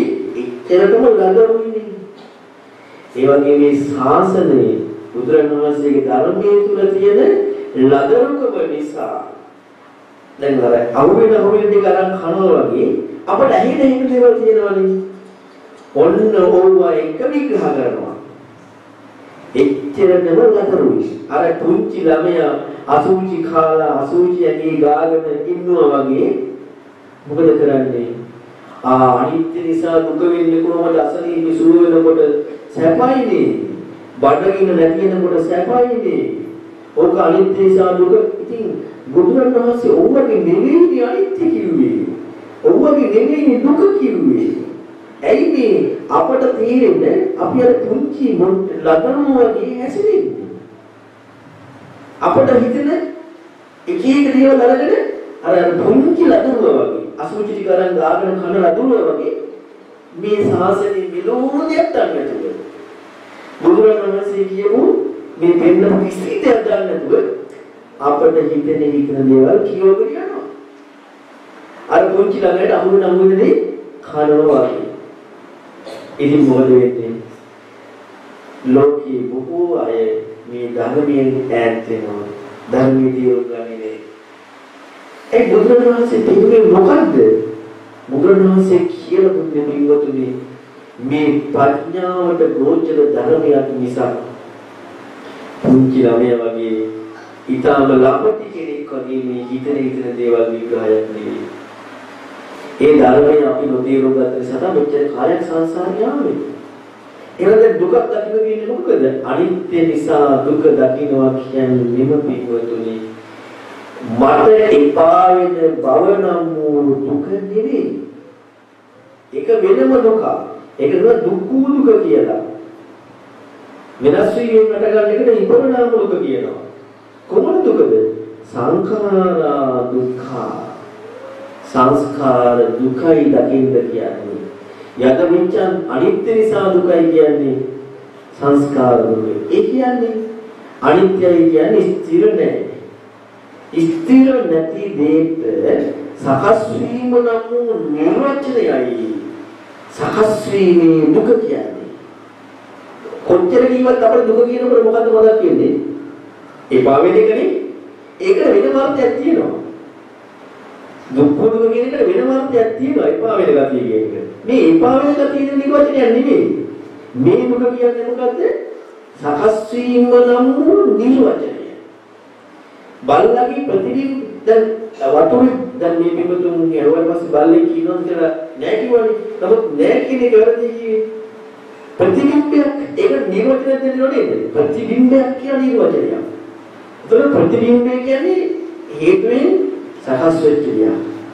අන්නේ ප්‍රතිබිම්බයේ දුන්න නිර්වචනය වගේ නිර්වචනයක් තමයි සකස් වෙච්ච දේ දෙන නිර්වචනය සංඛාර දුක්ඛය. දැන් මේ අපිට මෙතනද මම අපි දැන් ඉස්සලා පේන්නේ කෝපයක් පේන තියනවා කියලානේ. දැන් මම මේ කිව්වට තියනවා කියන එක වැරදි කියනවා. එතන නැද්ද කියලා කිව්වනේ. ඒකත් වැරදි කිව්වනේ. අන්න ඒ දෙකම වැරදි නිර්වචනය මොකද්ද? සංස්කාර දුක සකස් වුණා. බල්ලගේ බල්ලෙක් ඉන්නවා කියන එක උතේ හරියද? බල්ලෙක් නෑ කියන එක හරියද? මොකද්ද නිර්වචනය? ප්‍රතිබිම්බයක් සකස් වුණා. උත බල්ලෙක් කියන දිනවනේ ප්‍රතිබිම්බයක්. අපිට විදුරක් පේන්නේ නැද්ද? තියෙනවා. හැබැයි තියෙනවා කියන එක වැරදි. ඒකට තියෙනවා නිර්වචනයේ සකස් වුණා. සකස් වීම නම් වූ දුක. ඒකට පංච උපාදානස්කන්ධ දුක. අන්න ඒ සකස් වීමෙන් හම්බෙන්නේ මොකක් එක්කද? හේතුවත් එක්ක නේද? සකස් වීමේ නම් වූ දුකක් කියලා කියන තැනම හේතුව හම්බෙලා නැද්ද? දැන් වතුර බල්ලාගේ ප්‍රතිබිම්බය හම්බුනේ ඒ හේතු ටික ඔක්කොම එකනේ. එහෙනම් පෙරුනේ ඇස රූප විඥාන එකතු වෙච්ච තැනටයි පේන්නේ. නැත්නම් පේන්නේ අන්න අනිත්‍ය නිසයි දුක. දැන් අපි අනිත්‍ය කියන්නේ නැතිවීමට අපි දන්නේ නැතිවීම නෙමෙයි. අනිත්‍ය කියන්නේ මොකද්ද? ස්ථිර නැහැ. ඇයි ස්ථිර නැති? හේතු නිසායි තියෙන්නේ. සකස් වෙච්ච දෙයක්. අන්නේ දෙයට කියනවා සකස් වෙච්ච දුකයි කියලා. යද නිච්ඡන්තං දුක්ඛං. විනාශ වීම නෙමෙයි අනිත්‍ය කියන්නේ, භංගය නෙමෙයි අනිත්‍ය කියන්නේ, ස්ථිර නෑ කියන එකයි අනිත්‍ය කියන්නේ. ස්ථිර නැත්‍යයි හේතු නිසායි පවතින්නේ. දැන් පිළිකාව මට හැදෙන තැනදී දැනගත් කමදේ පිළිකාව හම්බුනේ. නැත්තම් පිළිකාව නේ. නමුත් අපි හිතන්නේ තියෙනවා කියලානේ පිළිකාවට දාලානේ බලන්නේ. අර සකස් වීම නම් වූ දෙයට කියන දුක කියලා. දැන් මට අම්මා පේනකොට අපි හිතන්නේ ඉලි අම්මා ඉන්නවා කියලානේ. ඉතින් එළිය අම්මා නම් තාත්තා එළිය භාර්යාවක් තාත්තත් එළිය අම්මා ඉන්නෝනේ. එහෙනම් අම්මා සකස් වුණා. තාත්තට භාර්යාව සකස් වුණා. දෙමාපියන්ට දුව සකස් වුණා. මෙන්න මේ සකස් වීම හම්බ වෙන්නට ඕනේ. ඒ සකස් වීම හම්බ වුණාම අන්න ඒක තමයි අනිත්‍ය බව දැකීම. ඒ සකස් වීමට කියනවා දුක කියලා. සංස්කාර දුක. එතකොට මෙන්න මේකට කියනවා මේ ස්වභාවය තුළ මම කියලා ගත්ත දේ වැරදි කියලා. අපිට කියනවා අනාත්මයි කියලා. වීණාව ගන්නෙන් වාදනය කරනකොට හටගත්ත ශබ්දය වීණාවේද දන්නේද පුද්ගලයාගේ දක්ෂතාවයෙන්ද දක්ෂතාවයෙන් නම් එයා විත්ති නතුරු රජෙන් ඇහෙන්නව නේද? එහෙනම් ඒ සද්දයට අයිතිත්වයක් තියෙනවද? නමුත් අපි වීණාවයි කියලා කියනවනේ වැරදි හරියන්නේ. අපි සද්දේ වීණාවයි කියන එක වැරදි. සද්දේට අයිතිත්වයක් නැහැ. ඒ සද්දේ වීණාවේ නෙවෙයි. දන්නේ නෙවෙයි. පුද්ගලයාගේ හැකියාව නෙවෙයි. හේතු නිසා හටගත්ත ඵලයක් අයිතිත්වයක් නැහැ. මෙන්න මේ ක්‍රියාව දැක්කම පස්සේ මම නම් වූ අයිතිත්වයේ බොරුවක්. පෙනීමට ඇහැට පෙනුන නෙමෙයි ඇහැට පෙනුණා නම් ඇයි විඥානේ ඇති වුනේ නැතුව වෙනුන්නේ නැත්තේ? විඥාන ඇති වුණොත් පේන්න ඕනේ. ඇහැට නම් පේන්නේ. දිවට නම් රස දැනුනේ ඇයි විඥානේ පහළ නොවෙන්නේ දැනුන්නේ නැත්තේ? අපට පේන්නේ අයිතිත්‍යයක් එක්ක. මගේ ඇහැටයි තියෙන රූපේ පේන්නේ. මගේ දිවටයි තියෙන රස දැනෙන්නේ අපට අයිතිත්‍යයක් එක්කයි නෙවෙයි. අපි හැම වෙලේම අයිතිත්‍යයක් ඈඳ ගන්නවා. ඔය ක්‍රියාව දකිනකොට අයිතිත්වය දුර වෙනවා. මුචලත්‍ය වැරදි බව හම්බ වෙනවා. මෙන්න මේ අඥානකමයි හේතුව ඇත්ත නොදකපු නිසාම මොකද වෙන්නේ? නිත්‍යයි කියලා හම්බ වුණා. නිත්‍යයි කියලා කියන්නේ පින්වතුනි මොකද්ද? මේ දෙයක් තියෙනවා. විනාශ වෙනවා කියන එකට නෙමෙයි අනිත්‍යයි කියන්නේ. විනාශ වෙනවා කියන එකත් අපට මනසට අරමුණක් හැටියට ඒක නිත්‍ය වෙලා. අපට යමක් හම්බ වුණා නම් ඒ නිත්‍යයි. දෙයක් තියෙනවා අර බල්ලා දැක්ක වතුරේ බල්ලේ ඉන්නවා කියන්නේ. නිත්‍යයි කියලා හම්බුණා. ඉතින් මේදී මොකද කරන්නේ? ඒක අපි හොඳ නරක ඔස්සේ තියාගන්න අයින් කරන්න කටයුතු කරනවා.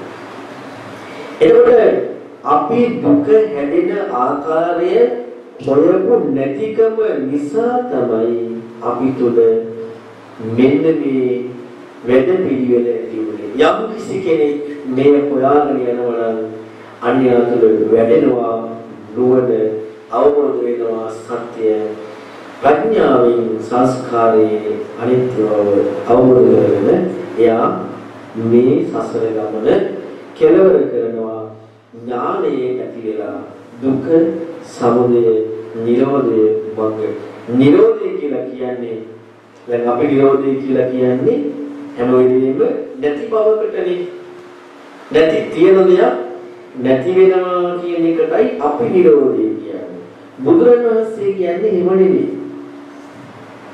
බුදුරණවහන්සේ නිරෝධය කියන්නේ හේතුවෙන් යම් ඵලයක් හටගන්නවා හේතු නැතිවීමෙන් ඵලය හට නොගැනීමටයි නිරෝධය කියන්නේ. තිබිච්ච දේ නැති වෙනවා කියන එක නෙමෙයි. ඵලය තියෙන්නේ හේතු මත. බල්ලගේ අපි වීණා විහඬ හඬ තියෙන්නේ කුමක් නිසාද? වාදනය කරන තාක්කල්. වාදනය කිරීම නම් වූ හේතු නැති තැන තිබිච්ච හරක් නැති වුණා නෙමෙයි. හේතු නැති නිසා නැති වුණා. ඔන්න ඔකට කියනවා නිරෝධය කියලා. එහෙනම් අවිද්‍යාව නිරුද්ධ වීම. ඒ කියන්නේ මේ දුක හැදෙන වැඩපිළිවෙල නොදකීම නම් වූ හේතුව නිරෝධය තමයි මේ දුකෙන් නිදහස් වෙන්න පුළුවන් කමක් ලැබෙන්නේ. ඒකට තියෙන මාර්ගය තමයි ආර්ය ශ්‍රාවක මාර්ගය. ආර්ය ශ්‍රාවක මාර්ගයේ ප්‍රධානම මූලිකම දේ සම්මා දිට්ඨිය ඒ තමයි සත්‍ය ඒ ආකාරයෙන් දෙන්නේ. එහෙනම් මේ ත්‍රිලක්ෂණය විග්‍රහය මම මේ පෙන්වතුන්ගේ ත්‍රිලක්ෂණය ගැන සරල විග්‍රහයක් දුන්නේ අද අපි මේ ත්‍රිලක්ෂණය ගැන අර පුංචි එදා උපන් ළමයා අසුචි ටික කමින් අසුචි ඇඟේ ගාගමින් අපන්ට ගෝචර වෙන දිවසේ ඉන්නවා වගේ අද අපි මේවා ගැන කතා කරන නිසා බුදුරණවහන්සේ පෙන්නපු විග්‍රහය ඔස්සේ අපි කොහොමද මේකට යොමු වෙන්නේ කියන කාරණාව පෙන්නන්නයි පැහැදිලි කරේ. ඉතින් අපි මම මෙතකින් මේ පැහැදිලි කරපු විග්‍රහය අවසන් කරනවා. මේ පින්වතුන්ට මේ විග්‍රහ කරපු කාරණා ටිකේ යම තේරුම් ගන්න අවශ්‍ය නම් පොඩි වෙලාවක් විනාඩි 30ක් 35ක් වගේ කාලයක් දෙනවා. ප්‍රශ්නයක් අහන්න කාලයක් අපතේ යවන්න ප්‍රශ්නයක් අහන්න. එකට අපි කෙටි උත්තරයක් සම්පූර්ණ වෙනවා.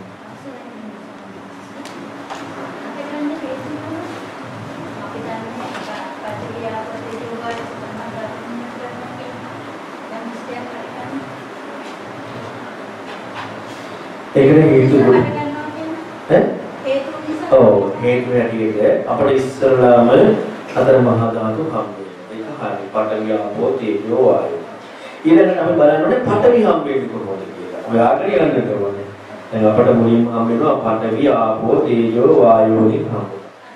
ඔව් එතනකදී තරන්නේ නෙමෙයි. මොන ඔකයි වැරද්ද. බුදුරණවහන්සේ කියනවා පඨවි විග්‍රහ කරනවා. කක්කලං කාරිගතං උපාදින්න. කර්ම කීවයක් කියනවා. හද ගතිය විතරක් නෙමෙයි. කක්කලං කියන්නේ තද. කාරිගතං කියන්නේ ගොරෝසු. උපාදින්න කියන්නේ උපාදානයෙන් හටගත්තේ. එතකොට කර්ම තුනක් තියෙනවා. අන්න උපාදාන වෙන්නේ මොකටද නෙමෙයි. උපාදානය කියන කාරණාව බුදුරජාණන් වහන්සේ විග්‍රහ කරලා දුන්න විදිය බලන්න ඕනේ. දැන් අපිට මේ උපාදාන වෙන්නේ මොකටද කියලා ප්‍රශ්නේ ඉන්නේ. අපිට වෙන දෙයක් නෙවෙයි බලන්න ඕනේ. බුදුරජාණන් වහන්සේ උපාදානයේ හැටියට විග්‍රහය කොහොමද තියෙන්නේ? දැන් අපි අපි කොහොමද උපාදාන වෙන්නේ කියලා ප්‍රශ්නේ එතකොට අපිට තේරෙන්නේ නැහැ. උපාදානය කොතනද බුදුරජාණන් වහන්සේ විග්‍රහ කරන්නේ? මොකද අපි විද්‍යාසංගත නෙමෙයි ඉන්නේ. අපි හතරේ ආවේ අඥානකමත් එක්ක. එහෙනම් විද්‍යාවෙන් යුක්ත බුදුරජාණන් වහන්සේ කියලා දුන්න උපාදානෙ කොයි ආකාරයකද? අන්න එතෙන් යන්න වෙනවා. උපාදානෙ වෙන්නේ මොකටද කියලා අහපොත් තැනදී අපි ආයෙ යනදී තමයි අපිට තියෙන දෙයක් ඔස්සේමයි අපි දැන් මේ බලන්න යන්නේ.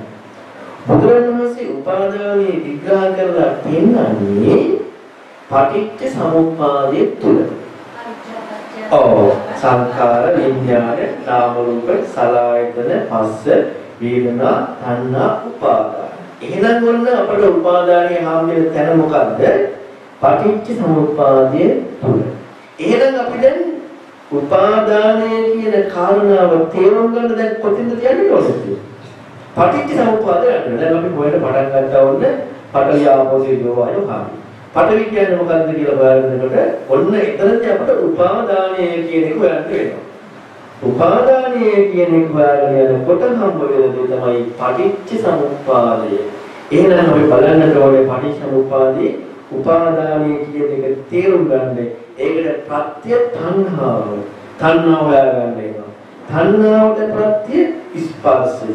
ඒක වේදනාව. ඒක හොයාගන්න වෙනවා.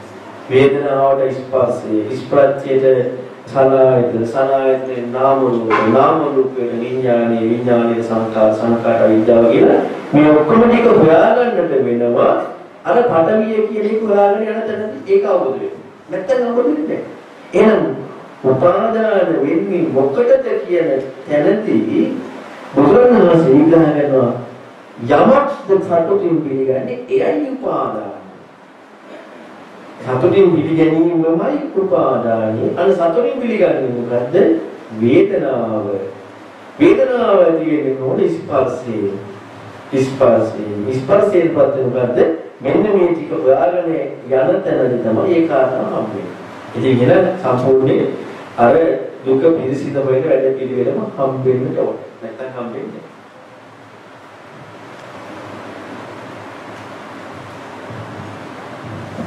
අසල සාරාංශ සම්මාංශ පැහැදිලි කරලා දෙනකොට අපිට සාමාන්‍ය තරම් දැනුමක් නැති විදිහට ඇටහෙනවා මේක සකස් වීමකින් තමයි ඒ මේ දුක සකස් වීම මේ හැම දෙයක්ම අපිට දැනෙන. ඇහෙන් දැනෙන දේවල්, කනෙන් ඇහෙන දේවල්, ස්පර්ශ හැම දෙයක්ම සකස් වීමක් කියලා. ඒ දේ අපිට වැටහෙනවා. නමුත් අපේ මාර්ගය අපි සකස් කර යනකොට ඒ වැටහීම පමණක් නැතිද අපිට එතනින් එහා ගිය දෙයකට හිත යොමු කරන්න හෝ ඒ සම්බන්ධයෙන් අපි සාමාන්‍ය ප්‍රත්‍යක්ෂන පිරිසක් විදිහට මොන වගේ ව්‍යායාමයක් අපි කළ යුත්තේ ඉතින්දා හැමදෙස්සම වගේ අපේ ස්වාමීන් වහන්සේට හැදි කරපු දේ වැටුණාට ඒක එහා ගිය දෙයක් මොකක්ද අපි සිටියේ යුත්තේ එතනදී අපි ඇත්තටම බලන්න ඕනේ තමයි බුදුරණන් වහන්සේ දැන් මේ කියන කාරණාව අපට හම්බ වෙන්නේ ඉස්සරලාම ප්‍රඥාවට නෙමෙයි වැටෙන්නේ මනසටව අරමුණකට. ඒ කියන්නේ කනට ඇහිච්ච සද්දය ඔස්සේ මනසටව අරමුණකට අපට මේ කාරණාව යම් සියමාත්‍රයක වැටෙනවා.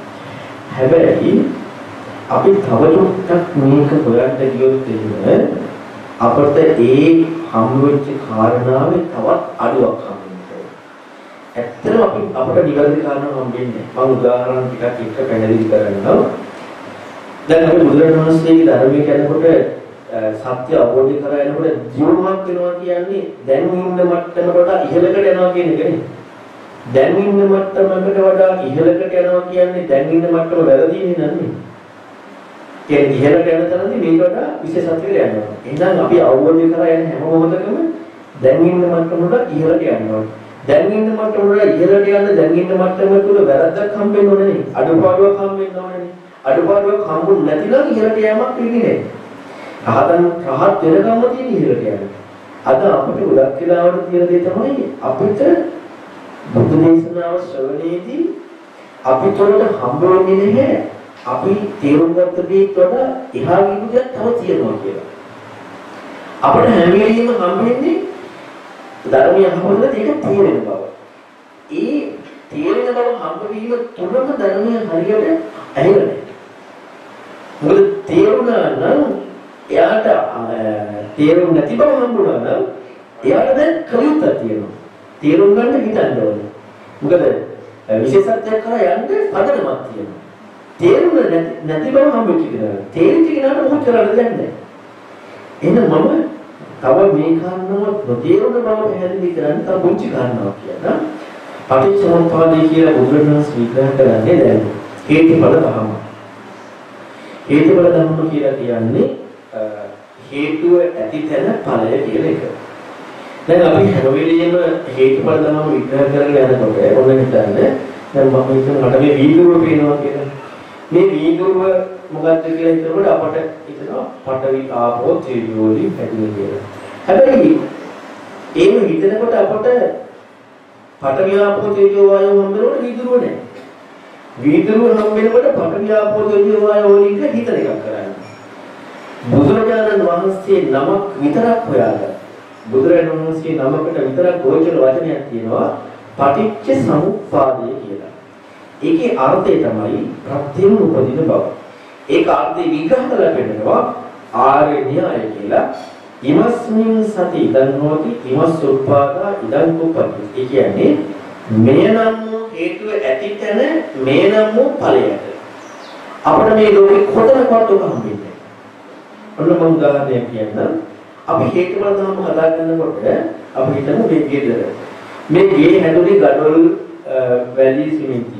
නමුත් අපිට ගඩොල් වැලි සිමෙන්ති නෙමෙයි දැන් අපිට තියෙන ගියක්. එහෙනම් හේතුව කල්පනා කිල්ලන්නේ හේතුව මේ වෙලා හම්බුනේ නැහැ.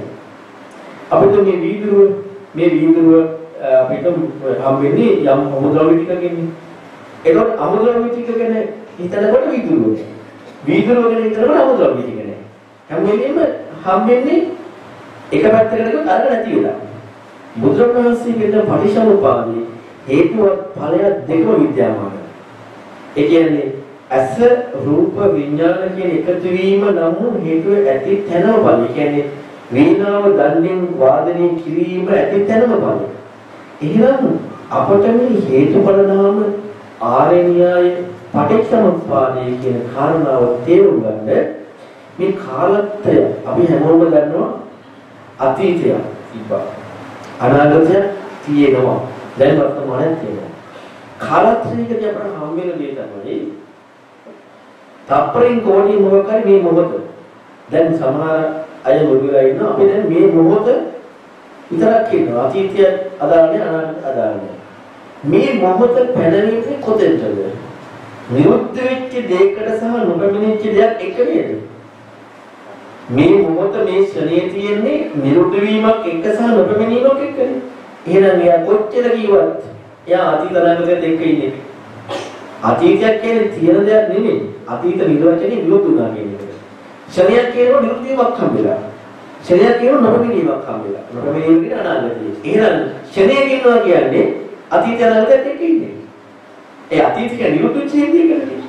අනාගත කියන්නේ නොපැමිණිච්ච දෙයකට. එහෙනම් ශ්‍රණයේ ඉන්නකොට නිරුද්ධ වීමක් සහ නොපැමිණීමක් තියෙනවා. එහෙනම් එයා කාලත්‍රයේ එක ඉන්නේ. බුදුරජාණන්සේ ධර්මයේ ඒ කාලත්‍රයේ ඉන්නවා. අනේක වෙනස. ඒ කාලත්‍රයේ ඉන්නේ මෙන්න මේ ප්‍රත්‍යයෙන් උපමෝහම් වෙනවා. ප්‍රත්‍යයෙන් උපමෝහම් වෙනකොට දැන් අපිට මේ විවිධුව කියන හේත් විවිධුව හැදෙන්න තියෙන හේතු ටික හේතුවෙන් හැදුණා කියලා අපි හිතන එක නෙවෙයි. නමුත් හේතු ටික ඵලය දෙකම විද්‍යාමානව හම්බ වීමටයි පටිච්චසමුපාදය කියන්නේ. මේ ලෝක කිසි දෙයක්ම හම්බෙන්නේ ඇහැට පේන දෙයක් හම්බෙන්නේ කනට ඇහෙන දෙයක් හම්බෙන්නේ හැම දෙයක්ම අපට හම්බෙන්නේ අතීතයකට ගිහිල්ලා නැත්නම් අනාගතයකට කල්පනා කරලා.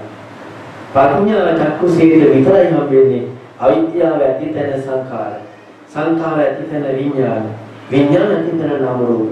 දැන් අපි කාරණා 12ක් කතා කරනකොට අපිට 12 හම්බෙන්නේ 12 පැත්තකටනේ. අවිද්‍යාව වෙලා අවිද්‍යාව ඊළඟට සංස්කාර ඊළඟට විඥාන ඊළඟට නාම රූප ඊළඟට අපට මොන්නේ හම්බෙන්නේ? නමුත් බුදුරණාහි දුන්න විග්‍රහයේ අවිද්‍යාවෙන් පස්සේ සංස්කාර නෙමෙයි. සංස්කාරයෙන් පස්සේ විඥානය නෙමෙයි. විඥාණයෙන් පස්සේ නාම රූප නෙමෙයි. නාම රූපෙන් පස්සේ සලආයතනෙ නෙමෙයි. සලආයතනෙන් පස්සේ ස්පර්ශය නෙමෙයි. අපට හම්බෙන්නේ කර්ම 12ක් විග්‍රහ කරනකොට එකකට පස්සේ එකක්. නමුත් පටිච්චසමුපාදය කියලා කියන්නේ අවිද්‍යාව ඇති තැන සංඛාරය. වාදනය කරාට පස්සේ නෙමෙයි හඬ ඇහෙන්නේ. මීනා වාදනය කරාට පස්සේ නෙමෙයි හඬ ඇහෙන්නේ. වාදනය කිරීම ඇති තැන හඬ ඇහෙන්නේ. අවිද්‍යාව ඇති වුණාම නෙමෙයි සංස්කාර ඇති වෙන්නේ. අවිද්‍යාව ඇති තැන සංස්කාර ඇති වෙනවා. සංස්කාර ඇති තැන විඤ්ඤාණය. ඔන්න ඕක අපට තේරුම් ගන්න ලොකු මොනක් ඕනේ. අපට හැම වෙලෙම අපි හිතනකොට අපට හම්බෙන්නේ ආ මේ අවිද්‍යාව මේ ඊට පස්සේ සංස්කාර. මේ සංස්කාර ඊට පස්සේ විඤ්ඤාණය. මේ විඤ්ඤාණය ඊට පස්සේ නාම රූපය. මේ නාම රූප ඊට පස්සේ නායතන. අපට හම්බෙන්නේ ඒක ඇති වුණාට පස්සේ අනිත් එක. ඒක ඇති වුණාට පස්සේ අනිත් එක. නමුත් ඒක පටිච්ච සමුප්පාදේ නෙවෙයි. ඒක අපට හම්බුනේ කාලත්‍රයක් එක. ඒක ඒක යන ගොඩක් අර ශරීරයක් සහ ශරීරයකට කලින් සහ ශරීරයෙන් පස්සේ කතා කරන්නේ. ඇයි? එච්චරටම අපි යොමු වෙලා ඉන්නවා මේ කාලත්‍රයකට. එච්චරටම අපි යොමු වෙලා ඉන්නවා සක්කාදිට්ඨියකට. එච්චරටම අපිට යොමු වෙලා තියෙනවා මේ ලෝකේ ප්‍රේම දෙයක් ඇති බව, ඇහෙන දෙයක් ඇති බව මේ ප්‍රවැත්මකට යොමු වෙලා ඉන්නවා. එහෙනම් අපට හැම වෙලෙම බුද්ධ වචනයක් අහන තැනදී දැන් මම ඇත්තටම මේ විග්‍රහ කරපු ටික තුළ මූලික විග්‍රහ කරා ඊටම සරල යම් විග්‍රහයක්. නමුත් ඊට එහා තව මේ පටිච්චසමුප්පාදයේ පිළිබඳව තේරුම් ගන්න ඕනේ. ඒක අහනකොට අපිට අපේ කුලණයට නැත්නම් අපි දන්න මට්ටමට තේරෙන දෙයක් නෙවෙයි හම්බෙන්නේ. අපිට තේරුම් ගන්න දෙයක් ඇති බව හම්බ වෙනවා. එයා මොකද කරන්නේ? තේරුම් ගන්න උත්සාහ කරනවා. අන්න එහෙම උත්සාහ කරනකොට මොකද මේ තමා තුළ යම් වර්ධනයක් එනවා. මම ඔකට පුංචි උදාහරණයක් කියනවා. ඒ තමයි ගණිත ගැටලුවක් ගැන කරා මම කියන්නේ අපි හිතමු යම්කිසි ගුරුවරයෙක් අනුකරණයේ මොහරි ගණන් ගැටලුවක් උගන්වනවා. ඉස්කෝලේ ළමයි ස්පර්ධනය උගන්වනවා කියනවා.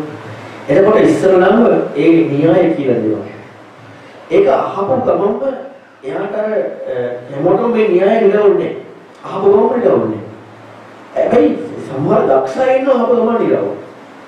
එතකොට ඒකේන අර අහපු න්‍යාය හොඳට තේරුම් අරගෙන ගැටලුව න්‍යාය මත පදනම් වෙලා බලමින් ගැටලුව ලියනකොට නිතර නිතර ගණන් හදනකොට එයාට අර න්‍යායයේ ලොකු ගෞරවයක් එනවා.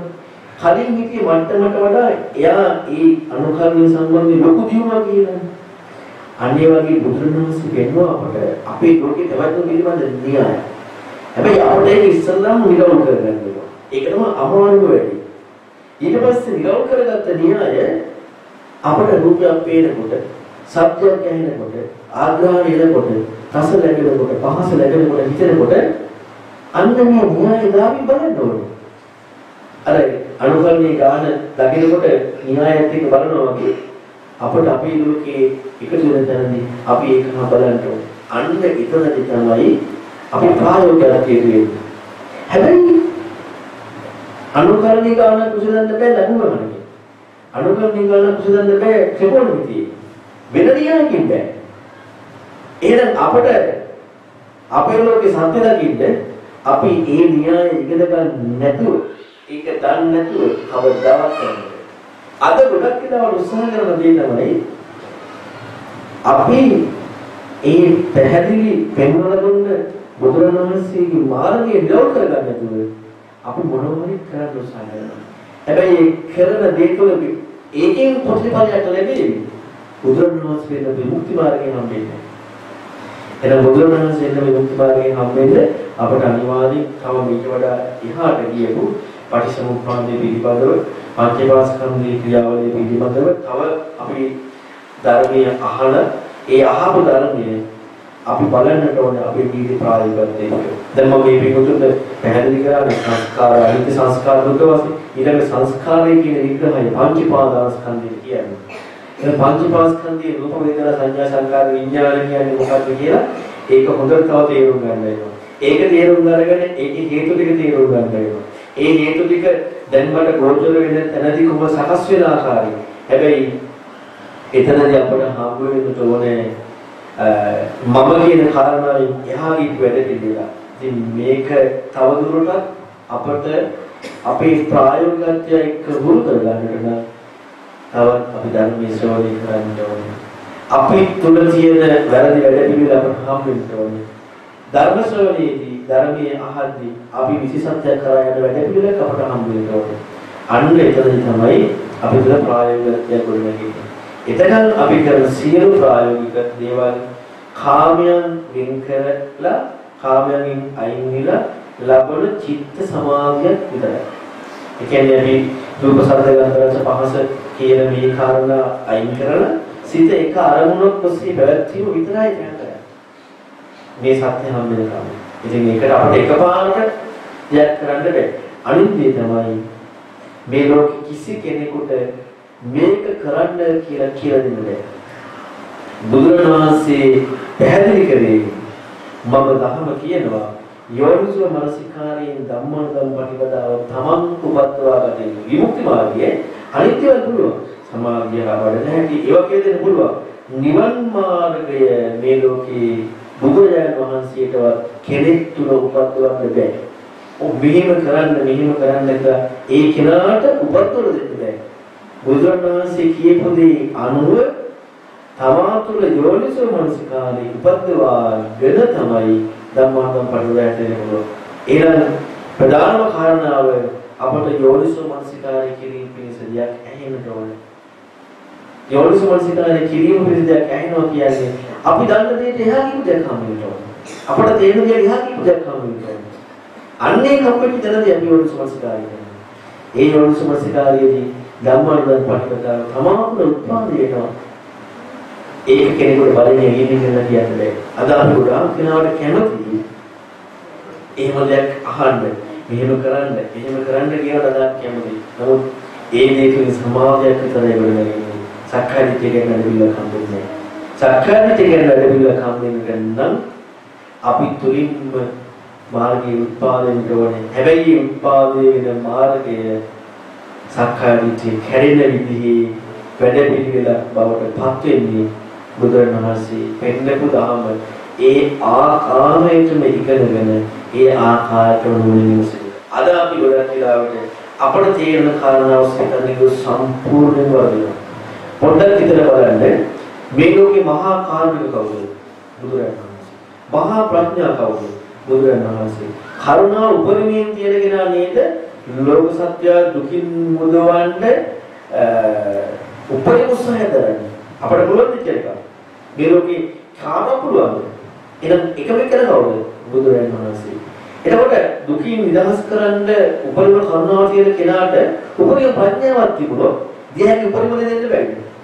එහෙනම් මේ ලෝකේ උපරිම කරුණාව උපරිම ප්‍රඥාව තියෙන එකම එක කවුද? බුදුරජාණන් වහන්සේ. බුදුරජාණන් වහන්සේ කියන එක ඉස්පිල්ලක් වෙනස් වෙලා කවුරුද කිව්වොත් එහෙම. එයා කියපු ධර්ම ගැන. ඇයි? බුදුරණවහන්සේ වල කරුණා ප්‍රඥා කර තියෙන්නේ. බුදුරණවහන්සේ දෙන්න පුළුවන් උපරිම දේ බුදුරණවහන්සේගේ අසහාය ප්‍රඥාවට අසහාය කරුණාවට දුන්නා. යම් කිසි කෙනෙක් කිව්වොත් නෑ මෙන්න මේක ඊට වඩා සරලව තේරෙනවා කියලා. ඒක සම්පූර්ණයෙන් වැරදි. මොකද එන්න බුදුරණවහන්සේ දෙනවා ඒක. ඒ ඉතර කරුණාවක් ඉච්ඡ ප්‍රඥාවක් තියෙනවා. ඒ නිසා තමයි මම පැහැදිලි කරේ අපි යම් කාරණාවක් කතා කරනකොට ඒක බුද්ධ වචන වෙනස් වුණොත් එහෙම ඒ එතන නිවන් මඟ නැහැ. මොකද වෙන දෙන්න කිසි ක්‍රමයක් නැහැ. බුදුරණවහන්සේ මුලින් මංගලසන විලාගේ ධර්මය දුන්නේ. ඒ අසහාය ප්‍රඥා අසහාය කරුණාවත් එක්ක. ඉතින් ඒ නිසා අපි හැම වෙලෙම හොයන්නට ඕනේ ඒ බුද්ධ වචනේ එක විතරමයි. වෙන කිසි දෙයක් එක නෙමෙයි. අපි හිතන්නට ඕනේ බුද්ධ වචනේ එකමයි. එහෙම එහා ගිහිල්ලා අපි හිතුවොත් කල්පනා කරොත් කවදාවත් නිවන් මඟ තියා සමගල්ලාවට සුගතියකට යන ඉඩත් ඇහි වෙනවා. ඇයි අපි වෙන විදිහකට ධර්මයේ විකෘති කිරීම පැත්තට හම්බ වෙනකොට. ඉතින් ඒක නිසා හැම වෙලෙම ඒ කාරණාව හොඳට මතක තියාගන්න ඕනේ. අපි ගමු දැන් සමහර අය කියනවා යම් කිසි කෙනෙක් අවබෝධ කරගන්න එයාගේ අත්දැකීම් කියන්න පුළුවන් කියලා. ඉතින් බුදුරජාණන් වහන්සේ අවබෝධ කරලා තමන්ගේ අත්දැකීම් තමයි ඒ කිව්වේ. බුදුරජාණන් වහන්සේ තමන්ම අවබෝධ කරලා කියපු අත්දැකීම් තමයි. ඉතින් බුදුරජාණන් වහන්සේට වඩා රහතන් මේ ලෝකෙ වෙන කවුරු හරි අත්දැකීමක් කියනවා නම් ඒ දිහා කියන එක කියන්න පුළුවන්ද? බෑ. අද කවුරු අද හිතන්නේ කවුරු රහත් කියලා යමක් කියනවනම් ඒක ලීසින් කරගෙන යන්න පුළුවන් මේ කියන්නේ. කවුරු රහත් කියලා බුද්ධ වචනේ ඉස්පිල්ල කරස්තලා කියනවා එයා රහත් නෑ. ඒ වෙන වචනයක් දෙන්න බෑ. බුදුරණවහන්සේ කියපු දෙයට හැර වෙන වචනයක් දෙන්න බෑ. දියහැක උපරිම වචන දෙකේ. ඉතින් ඒක නිසා ඒ විදිහට අපි ඉගෙනගෙන ඒ ඒ ඉගෙන ගන්න දේ තුළ තියෙන හැටි ගොඩක් හිතන්න දේවල්. දැන් මම අද පැහැදිලි කරේ අනිත්‍ය කියන අපි අනිත්‍ය අනිත්‍ය කියන මොකක්ද අනිත්‍ය? අපි කී දේවල් දන්නවා. බුදුරණවහන්සේ අනිත්‍යගේ සංඛාරයක. දකින්න දීපඥානයි. නමුත් අපි අනිත්‍ය කියන එක එක දේවල් වලට අපිට එක එක දේවල් නමුත් ඒ ඔක්කොම අපි දන්න දේ අපිට තේරෙන දේ බුදුරණවහන්සේ කියපු දේ නෙමෙයි. එහෙනම් බුදුරණවහන්සේ කියපු දේ ආකාරයෙන් අපි යොමු වෙච්ච තැන තමයි මේ මාර්ගය අපට කරගන්න පුළුවන්කම ලැබෙන්නේ. වෙන සංසාර දාරුචීය සංවාසය උත්තරඥානස කියන දෙකෝ දෙක විතරයි. මේ අහුවට අහුව විතරයි මුතේ මුතමත් කියන්නේ ඒතකොට ඒ වගේ මේ අපි කල්පනා කරනකොට සංවාස ප්‍රායෝගික ජීවිතේ. මේ දැන් අපි තුමාලා සංවාස කියවල වීණා උදාහරණය කොහොමද අපේ ප්‍රඥාව වැඩි වෙන්නේ? එහෙම හිතන්න. එතකොට අනිත් භාවනාව කරන එකද ප්‍රඥාව වැඩෙන්න වැදගත් වෙන්නේ? නැත්නම් අර වීණාව වයින් එකේ මේ අර ඇත්ත අර්ථය මේ යෝනිසෝ මානසිකාරය කරනකොට ප්‍රඥාව වැඩේ. බුදුරජාණන් වහන්සේගෙන් අහනවා ආලෝක ප්‍රඥාවට ගන්න කොහොමද? සුසුචේ දපතේ පඤ්ඤා අපමතෝ විචක්‍රණ වෙන කිසි ක්‍රමයක් නැහැ. අහපු ධර්මය අප්‍රමාදී විචක්ෂණය කිරීමමයි ප්‍රඥාවට හේතුව. එහෙමනම් අපට ඇත්තටම අනිත්‍යයි අනිත්‍ය භාවනාවක් කියන කියන්නේ අනිත්‍යයි කියලා කියන්නේ මොකද සංස්කාරයකනේ. එහෙනම් අනිත්‍ය භාවනාවක් කීයුති සංස්කාරයකනේ. මම ඉස්සෙල්ලාම සංස්කාරය තේරුම් ගන්න වෙනවනේ. නැත්තම් අපි අනිත්‍යයි අසානිත්‍යයි අනානිත්‍යයි අසානිත්‍යයි අපි ඔක්කොම සිතුවිලි ටිකක්නේ. අනිත්‍ය හම් වෙන්නේ සංස්කාරයක. එහෙනම් අපි සංස්කාරය කියන්නේ මොකක්ද කියලාට තේරුම් ගන්න වෙනවා. එහෙනම් සංස්කාරය හැදෙන හැටි හොයන්න වෙනවා. ඒකට නුවණින් විමසන්න වෙනවා. ප්‍රඥාව ඇති වෙන එකම මාර්ගය කාරණා දෙකයි. ඒ තමයි පරතෝජ ගෝසෝ අනුන්ගෙන් ඇහෙන දේ සද්ධර්ම ශ්‍රවණ. ඊළඟට ඇතුළතින් තියෙනවා ආධ්‍යාත්මිකංගේ යෝනිසෝච මනසිකාරෝ. ඔය දෙකෙන් තමයි ප්‍රඥාව හටගන්නේ. වෙන කිසිම ක්‍රමයකින් නෙවෙයි. අපි අනිත්‍යයි. ඇස අනිත්‍යයි. ඇස අනිත්‍යයි කියලා හිතුවටක් නෑ. ඇස අනිත්‍යයි කියන්නේ ඇයි? මොකද ඇස අනිත්‍යයි කියන එකේ පදනම? ඇස අනිත්‍යයි කියන්නේ ඇස හේතු නිසා හටගත්තා. මොකද්ද හේතු? නාම රූප. එහෙනම් ඇසේ නාම රූප හොයන්න වෙනවා.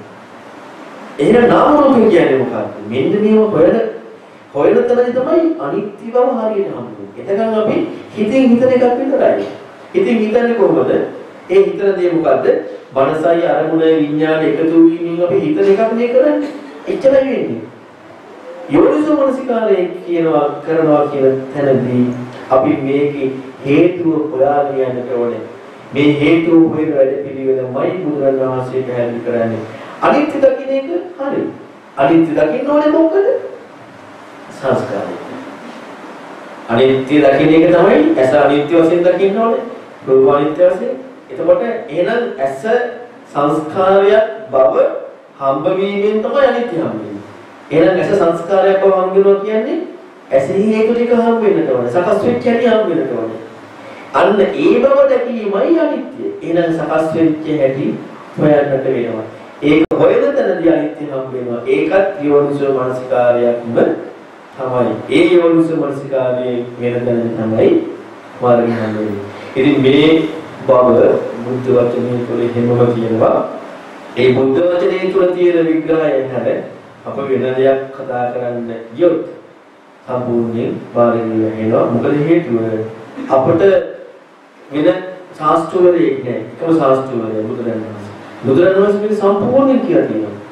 බුදුරජාණන් වහන්සේ වෙන ප්‍රතිපදාව තුළ දුෂ්චිර නොයන විදිහට වෙනවා කියලා. හැබැයි බුදුරජාණන් වහන්සේ කියපු විදිහට මේක ගන්න ඕනේ.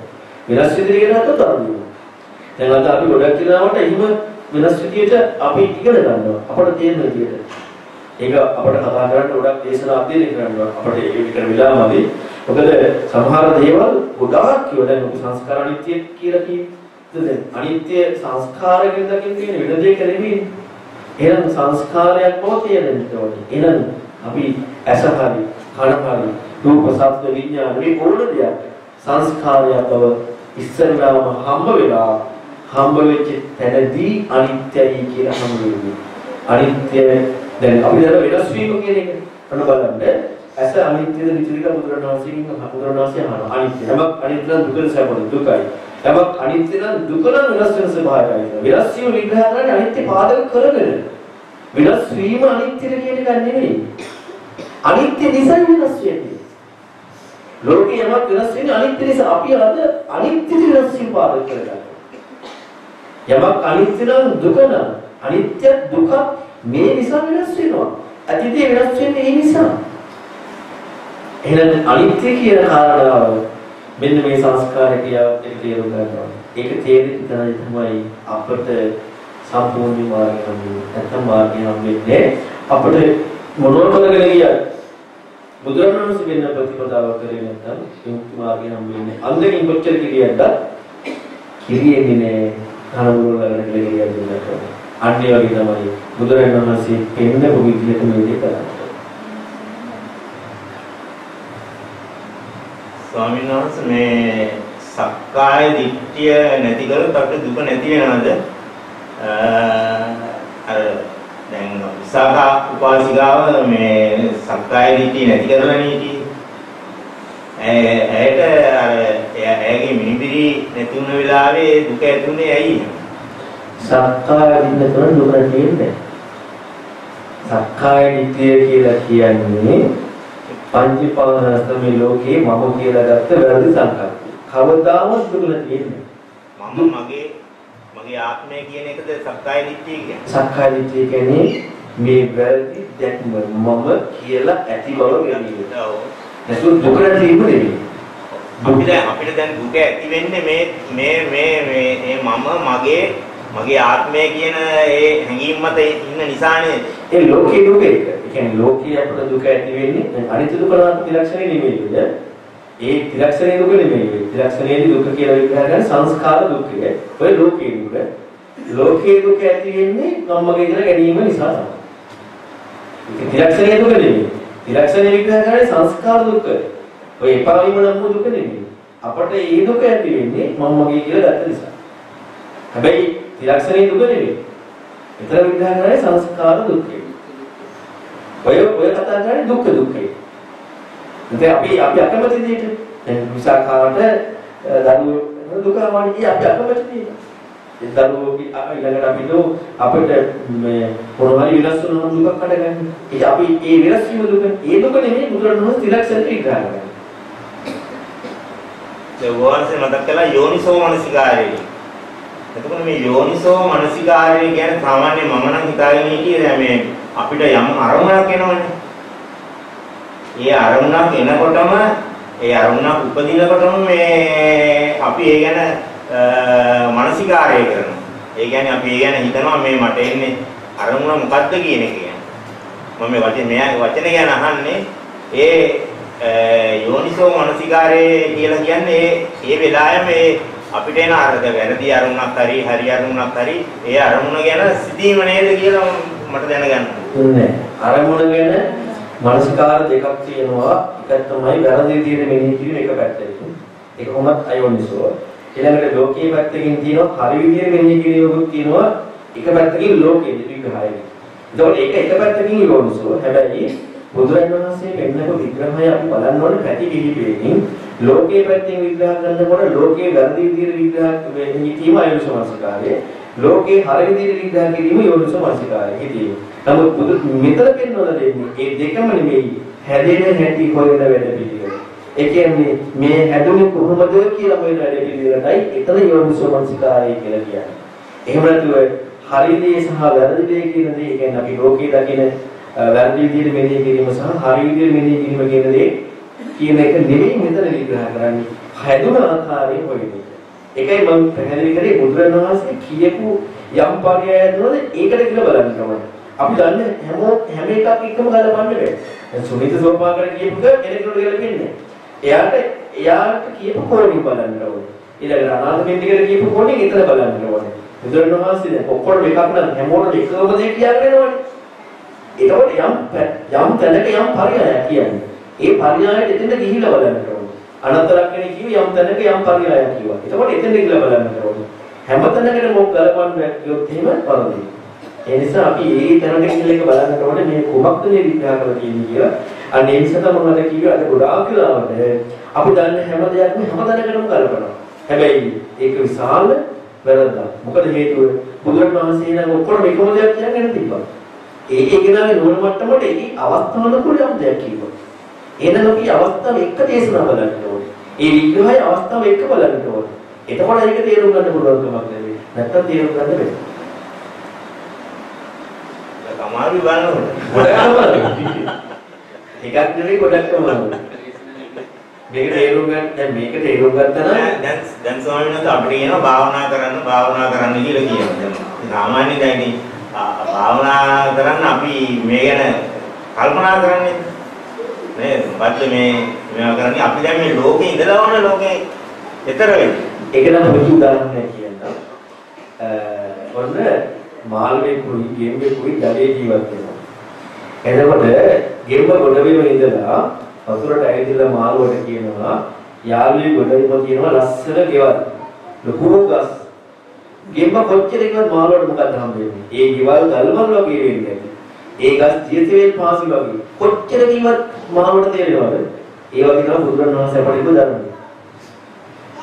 බුදුරණවහන්සේ අපට කිව්ව ධර්මය අන්න ඒ වගේ. එයි අපේ අපේ රාමුව තියෙන වැරදීනේ.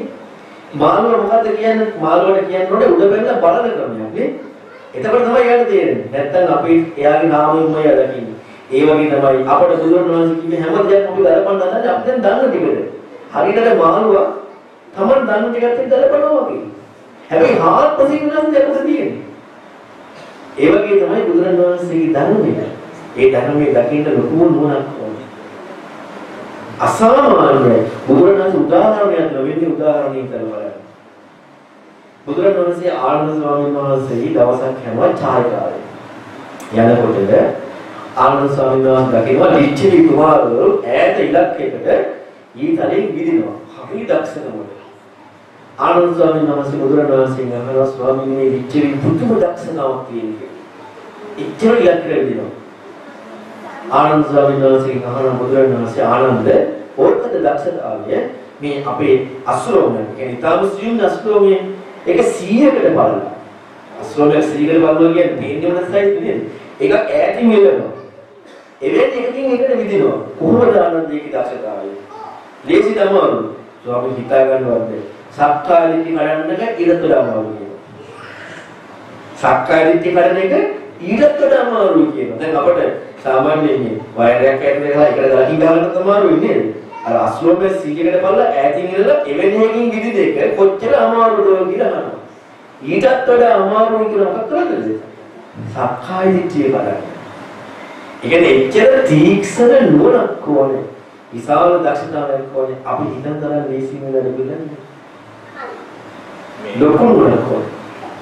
දැන් ඒ කාලේ මේ ඇත්තටම දැන් මේ මහා මිනිමරු එතකොට ඉතාලම කාමභෝගීයයි මේ පැය කීපයකට ඉස්සෙල්ලා මේ පැයක් දෙයක් ඇතුළත මේගොල්ලෝ මේ මහා කාමභෝගී ජීවිත ගත කරපු අය. එතකොට මහා විනාශකාරී වැඩ කරපු අය. මොහොත මේගොල්ලෝ මේ මේ මේ දැන් අපි අපි ඊට වැඩි උනන්දුවකින් මේ වැඩ කටයුතු මේ දැනටත් කරගෙන යනවා. ඉතින් අපිට මේකෙන් ගොඩ එන්න තාමත් මේ රියලා තියෙනවා.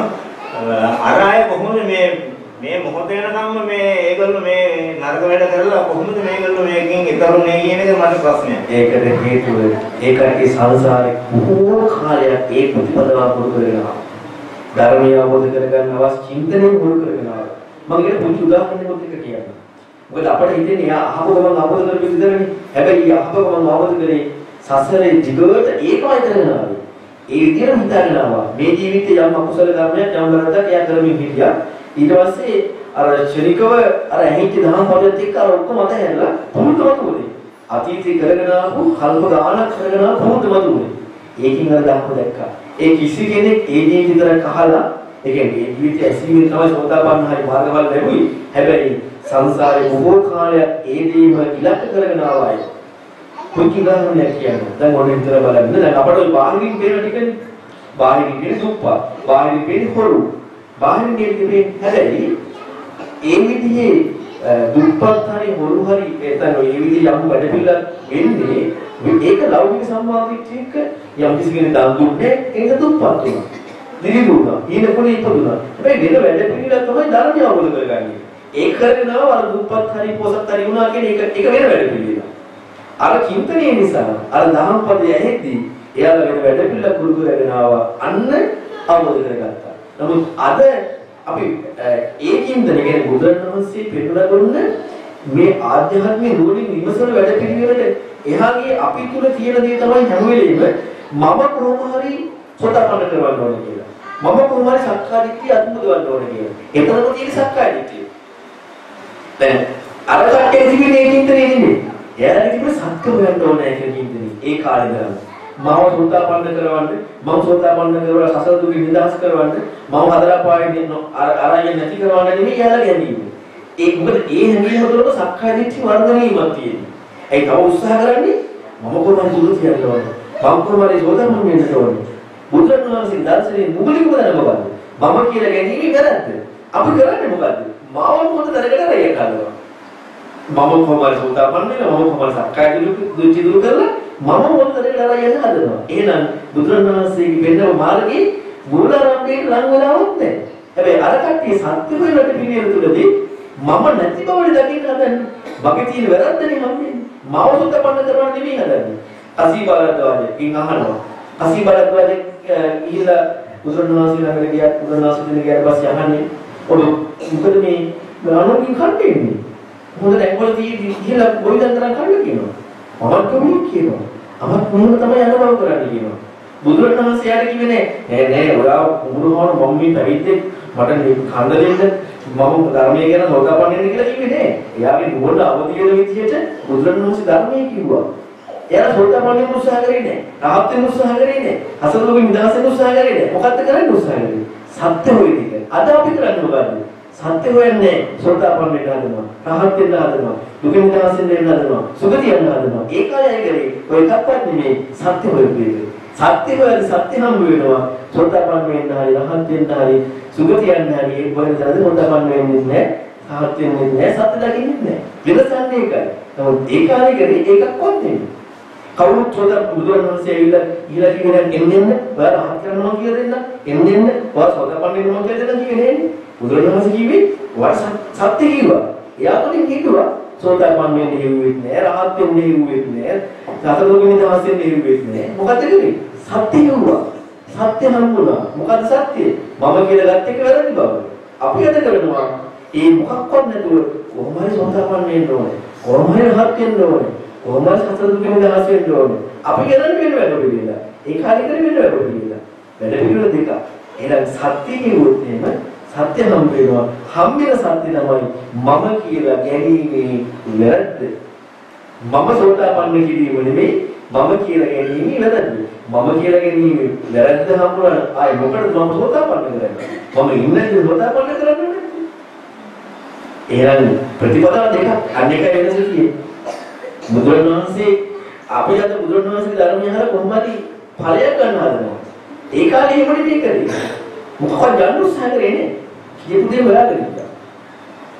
අද කරන වැඩේ නේද? මොන දේ කරන්නේ? අපි දැන් සිල් රැකිනවා, භාවනා කරනවා, ධර්ම කරනවා මොකටද කරන්නේ? සක්කාය දිට්ඨිය කරන්නේ කාගේද? මගේ. එතනම තියෙන්නේ සක්කාය දිට්ඨිය. ඉතින් ස්වාමීන් වහන්සේ මගේ කිය මම දැන් මේ ගැන එහෙම හිතලා බෑරද කරගන්න. ඒ ඒ මම කියලා කෙනෙක් ඉන්නවා ඉන්න එපා ඉතින් අර ටික කරගන්න. හරි ඒ ගැන හිතලා අපි කොහොමද කළ යුත්තේ? ඒ අපි දැන් ඔන්න හරි දැන් මම කෙනෙක් ඉන්නවා දැන් මම මේ කොහොමද නිදහස් වෙන්න ඕනේ. දැන් අපි කොහොමද කරන්න ඕනේ? බුදුරණවහන්සේ කිව්වට එන්නේ වෙනදක් කියලා කියන්නේ කියලා තමයි දන්නවනේ. එහෙනම් දැන් යන්න ඕනේ කවුරු ළඟටද?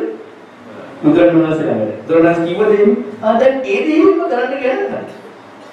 මට සෝතාපන්න වෙන්න ඕනේ කොහොම හරි. මට දුක නිදහස් වෙන්න ඕනේ කොහොම හරි. දැන් අපි දන්නවා බුදුරණවහන්සේ කිව්ව දේ කරොත් තමයි ඒක වෙන්නේ කියලා නේ.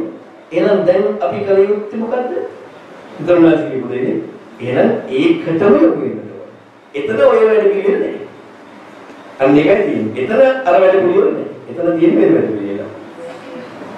එතන සක්කායදිටි කැඩෙන විදිහේ චින්තනය ටික තියෙනවා. අපි එහෙම හිතලා කරන්නේ මොකද්ද? බුදුරණවහන්සේ කියපු දේ නෙමෙයි. අපි මොකක් හරි කරන්න උත්සාහ කරනවා මොනවද උදාපන්නේ? භාවනා කරලා සිල් දැකලා මේ මේ වැඩි කරන්න ඕනේ අපි විභාගයක නෙමෙයි. නමුත් එතන ඉහාදයක් තව බුදුරණවහන්සේ දේශනා තියෙනවා. සක්කායදිටි කැඩෙන වැඩ පිළිලා. ඒ දේ කරන්න යන්නේ නැතුව අපි අර අපිට තේරෙන දේ කරගෙන යනවා. දැන් තියෙන්නේ අර මේ අඩුගානේ දැන් මේ ඕගොල්ලෝ උත්සාහ කරන්න මේ සෝවාන් ඵලයටවත් වෙන්න කියලා එහෙමනේ දැන් මේ ඒ ඒ කතාව වැරදි කතාවක්ද කියලා ඒක මූලිකව හරි මූලිකව හරි අපි කරන්න ඕනේ.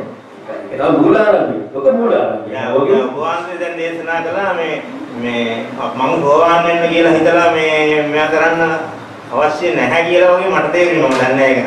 මම මම වැරදිද කියලා දැන් දැන් තීරණයක් තියෙන්නේ අදුගානේ සෝවාන්වත් වෙන්න ඔයගොල්ලෝ උත්සාහ කරන්න කියලා. ඒක තමයි මූලාරම්භය. පටන් ගන්න.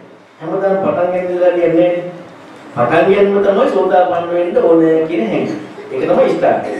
ඊට පස්සේ සෝදාපන්න වෙන්න කල යුතු දේ කරන්න ඕනේ. ස්ටාර්ට් එක හැමදාම මුෂය කියලා පටන් ගන්න හැමදාම මුෂය කියලා කවදාවත් යන්නේ නැහැ.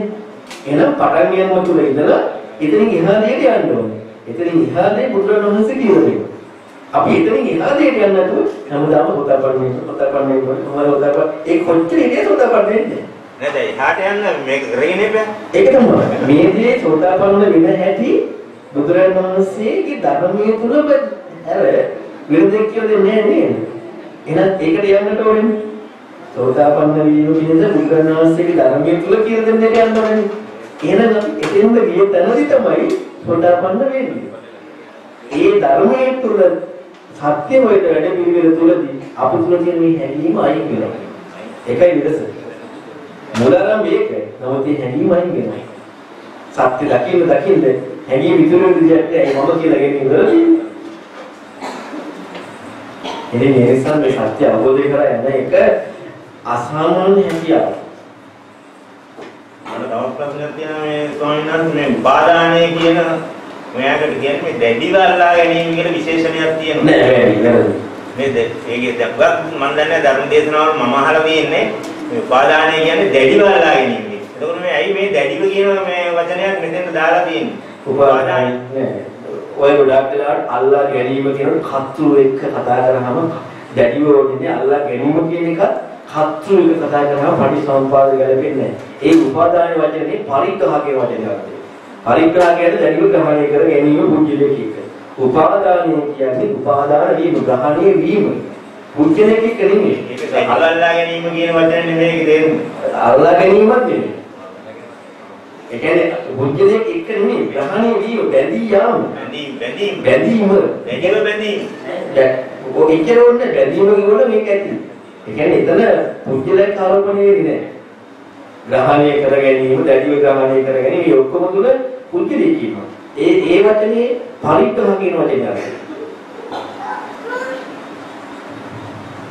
අරගෙන. සමනසාර සපත්තු උපමා කොටස් අපි මාත පැහැදිලි කරගත්තු සංස පාදානයට අභියත් එක්ක ඔව් ඒක නම් මුලින්ම තේරුම් ගන්න ඕනේ මේක. තේරෙන්නේ කියනවා අපි ඒ තණ්හාව සහ උපාදානය කියන එක. ඒ කියන්නේ මම මුල් උදාහරණයක් කිව්වා දැන් සපත්තුවේ අඩිය සහ සපත්තුවේ කැල දෙකක් තියෙනවනේ. අඩිය සහ උඩ කැල. එතකොට මේ දෙක එකට ඇලුනහම මොකද වෙන්නේ? බැඳුනනේ සපත්තුවක් වුණානේ. එතකන් ඇවිදින්න බෑනේ. අඩිය කැල වෙනමයි උඩ කැල වෙනමයි තියෙන තැන ඇවිදින්න බෑ නේද? මේක දාගන්නත් මේක උඩ අලි තියන්නත් බැහැ. මේ දෙක ඇලිච්ච තැනදී බැඳෙනව නේද? දෙක එකක් වෙනවනේ. දැන් දෙකක් නෙමෙයි දැන් සපත්තුවක්. දැන් ඇවිදින්න පුළුවන්. අන්න ඇලීම සහ බැඳීම. තණ්හාව සහ උපාදාන කියන අනිවාර්යයි. මේක මේ අපි මොන උපාදාන කරගන්නවා කියන එක නෙමෙයි මේ විග්‍රහය. මේ ඇලීම සහ බැඳීම අදුපාදාන තණ්හාවෙන් ඇලෙනවා. ඇලීමයි බැඳීමයි. බැඳුනට පස්සේ දෙකක් නෙමෙයි එකක්. එකක් කියලා යමක් කරන්නේ. දෙකක් වෙච්ච එකම සපත්තුවක් නෙමෙයි. සපත්තුවක් කියලා ඉවරන්නේ. ඉතින් ඒක ගොඩාක් තේරුම් ගන්න තමයි මේ ධර්මයේ තුල සක්කාය දිට්ඨිය කැඩෙන්නට අවශ්‍ය ඇදපිළිවෙල බුදුරණවහන්සේ කියලා දෙනවා. ඒකට ලොකු චින්තනයක් ඕනේ. ඒ චින්තනයේ ගන්න අපට ධර්මය අහන්න පුළුවන්. නැතුව කොච්චර කරත් හම්බෙන්නේ නැහැ. අපි කොච්චර හිතුවත් බුදුරණවහන්සේ කියපු විදිහට චින්තනය කරගෙන ඉන්නව නැතුව අපට කවදාවත් අවබෝධ කරගන්න බැහැ. සමන්වංශ තව කෙනෙක් ප්‍රශ්නයක් අහනම් ඔය කියන ධර්මය හරිම දුර්ලභයි ස්වාමීන් වහන්සේ කියන්නේ අපේ දැන් තාත්තා අහනකොට මට තේරෙන්නේ තාත්තා අහන්නේ බෑ නෙමෙයි කියලා මට තේරෙනවා. කියන්නේ නේද? ඇත්තටම අපි ගොඩාක් හද එක එක අය එක එක අදහස් ඉන්නවා. අන්න ඒකයි මම කියන්නේ. මේ රෝගී යම් කිසි කෙනෙක් යම් කිසි කෙනෙක් අදහසක් ඉදිරිපත් කරනවා නම් ඒක ඇත්තටම වැරද්දක්. මොකද හේතුව? මහා කාරුණික මහා ප්‍රඥා බුදුරජාණන් වහන්සේ ඉහා කීම කාර්ය කරනවක් තියෙනවා. බුදුරජාණන් වහන්සේ ඉහා කී ප්‍රඥාවක් කාර්ය තියෙනවා. කිසි කෙනෙක් මේ ලෝකේ නැහැ. ඉතින් බුදුරජාණන් වහන්සේ ඉහා කී විග්‍රහ කරන කෙනෙක් විග්‍රහ කරනවා ඒක හරිද? ඒක වැරදිද? දැන් මෙතනදී එන කියලා කියන්නේ. ඒක තමයි මෙතෙන්දි මට මතක් වෙන්නේ අර කාලාම සූත්‍රයේ මේ කියන්නේ කාල බුදුහාඳුරු මේ ප්‍රශ්න අහන්න ඕන තැනක මේ අහලා තියෙන්නේ මේ මේ හැම අයම කියන්නේ දැන් ඔබ වහන්සේ කියන එකත් අර අද වෙනත් තැනකට ගියාම කියන්නේ ඒ ඒ මේ ස්වාමීන් වහන්සේ දේශනා කරන්නේ එහෙම තමයි කියන්නේ. දැන් අපි කොහොමද මේක තෝරලා වෙලා ගන්නේ? ඒකට හොඳම දේ තමයි බුද්ධ වචනේ ඉගෙන ගැනීම. අද නොකරනම දේ තමයි බුද්ධ වචනේ ඉගෙන ගන්න එක එක්කෙනා පස්සේ යනවා. එක එක්කෙනා පස්සේ දැන් මම කියන එකවත් තව කෙනෙක්ට ඒක අහන්න එපා. ඉතින් අපි කොහොමද ඒක හරියටම අද ඕන තරම් තියෙනවා. පොත් තුළ තියෙනවා බුදුරණවහන්සේ අපට ආපු පිළිවෙල තියෙනවා. මේක මේකදී අපිට මේ පාලි භාෂාව බොහොම විශේෂයෙන් වැදගත් වෙනවා. ගොඩාක් වැදගත්. වැදගත් වෙනවා. ඉතින් ඇත්තටම අපි මේ අඳුරේ අතපත ගන්නවා වගේ වැඩක් අපිට කරන්න මේ පාලි භාෂාව දැනගන්නේ නැත්නම්. සම්පූර්ණ මේක ඇත්ත. ඇත්තටම හරියටම අය ඉගෙන ගන්න පාලි භාෂාව. පිරිත් අහනවා යෝමයා කරනවා. මේ කිසිම තේරුමක් දන්නේ අර සබ්ද ඇත්තටම මම පිරිත් අහන්නේ උගක් මේ මේ මේ අර්ථය දැනගෙන නෙමෙයි. මේ ශබ්ද රසයට අහනවා. ඒක ඒකට ආසයි. මේ එහෙම නැතුව මේ මේවැ තේරුමක් මේ හැම දෙයකම හැම වචනයකම තේරුමක් දැනගන්න බෑ නැත්තම් ඒකේ නියම අර්ථය අපිට ගන්න බැහැනේ ඉතින් එහෙමනම් මේ භාෂාව ඉගෙන ගැනීමේ වැදගත්කම උගක්ම තියෙනවා කියලා මට හිතෙනවා. ගොඩාක්ම තියෙනවා. අනිවාර්යෙන් භාෂාව දැනගෙන මේ ධර්මයේ යන්නට ඕනේ නැත්නම් එහෙම අනිවාර්යෙන් එක එකයි එක එක අදහස් තමයි. අපි ඉතින් මුලින්ම දැන් දන්න ටිකක් හරි කියනවනේ බං භාෂාවේ තුල ඒක ඒකට හරි දැන් අපි මම අර දැන් අනිත් එක ගැන කිව්වා. දැන් ඔක ඒකේ දැන් අපි අහලා තියෙන දේ බලන්න පොත වචනේ මොකක්ද තියෙන්නේ. අපි බුද්ධ වචනත් එක්ක ඉන්නේ ආයෙ මේව කිව්වා. මෙයා මේව කිව්වා. ඒක වැඩක් නැහැ.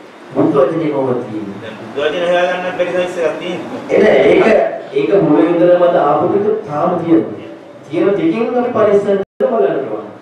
ඒ කියන්නේ අතට සංයුත්තනිකය, මධ්‍යනිකය, අනුත්තරිකය, දීඝනිකය මොනෝයි පොත් තුල තාම බුදු වචනේ කියනවා. අපි ඉස්සෙල්ලා ඒ ටික අධ්‍යයනය කරන බලන්න ඕන. අර ඒක අධ්‍යයනය කරන්නේ නැතුව පරිශ්‍රය කරොත් කරන්නේ. ඒක ඉස්සෙල්ලාම අධ්‍යයනය කරන්න ඕනේ. අද ගොඩාක් ඒක අධ්‍යයනය කරන්නේ. අන්න ඒක තියෙන ප්‍රශ්නේ. අධ්‍යයනය නොකර අපි විවිධ චෝදනා කරනවා. ඒක සම්පූර්ණ වැරදි. අපි සංයුත්නිකයි කියවලා නැත්තම්, අංගුත්තරනිකයි කියවලා නැත්තම්, මධ්‍යමනිකයි, දීඝනිකයි, කුද්දනිකයි කියවලා නැතිනම් අපි මේක බුද්ධජනේද නැද්ද කියලා අපි චෝදනාවක් කරොත් සම්පූර්ණ වැරදි. අපි කියවලා බලලා අන්න චෝදනා කරලා හරි. දැන් ඇත්තටම ආවදිනේ දැන් මේ හුඟක් අය මේ දැන් අපි අපි මේවා කියෙන්නේ නැතුව ගියමුකෝ. දැන් මේ හුඟක් මේවා කියවපු අයනේ දැන් මේ මේ අපිට මේ ධර්මයේ දේශනා ඒක කරන්නේ. ඉතින් මෙයා වැරදි දාන්නද? මේක මේ හැමෝටම හම්බෙන්න එකක් නෙමෙයි. බුදුරජාණන්සේ ධර්මයේ හැමෝටම හම්බෙන්න එකක් නෙමෙයි. ඒකයි අපි බලන්නට ඕනේ ඒ කියන එක කියලා බුදුරජාණන්සේ කියපු දෙයට කියන්නේ කියලා. බුදුරජාණන්සේ දේශනාවක් තියෙනවා තේර සූත්‍රයේ යම් කිසි කෙනෙක් නවක හෝ මධ්‍යම හෝ තරුණ හෝ මහලු හෝ භික්ෂුවක් ඉන්නවා. බුද්ධ වචනේම ඉගෙන ගන්න. ඒකමයි දරා ගන්න. ඒකට අනුව කල්පනා කරන්නේ. ඒකට අනුව හිතනවා. නමුත් තමන්ගේ දෘෂ්ටිය ගලපලා එයා තේරුම් ගන්නවා. එයා දුෂ්පාටිය කියනවා. එයා සාසනය අතුරුදහන් කරන්නේ කියනවා. ඉගෙනගන්නේ බුද්ධ වචනේ, දරාගන්නේ බුද්ධ වචනේ, ගලපන්නේ බුද්ධ වචනේ ඒක තේරුම් ගන්න තමන්ගේ ඕනේ නැත්තේ. එතකොට ඉතින් බලන්න කොච්චර බුද්ධ වචනේ ඉගෙන ගත්තා. කොච්චර ඉගෙන ගත්තා. එයා තමන්ගේ කෝණ එක ගලපලා නම් විග්‍රහ කරන්නේ. එයා අසත්පුරුෂයෙක් කියනවා. එයා දුෂ්ප්‍රඥයෙක් කියනවා. එයා සාසන අතුරුදහන් කරන කෙනෙක් කියනවා. හැබැයි ගලපන්නේ බුද්ධ වචනේත් එක්ක. හැබැයි ඉදිරියට කරන තමන්ගේ අර්ථය.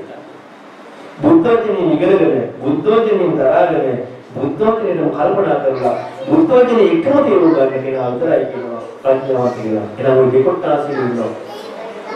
එහෙනම් මේකට අපි අපි ඉගෙන ගන්න තියෙන්නේ බුද්ධ වචනේ. එතකොට අපිට තේරුම් ගන්න පුළුවන් මේක බුද්ධ වචනය ගැලපෙනවද නැද්ද කියලා. අපි ඉගෙන ගන්න කොච්චර තරක කරන්නේ. ඒ අපි ගන්නේ නේද?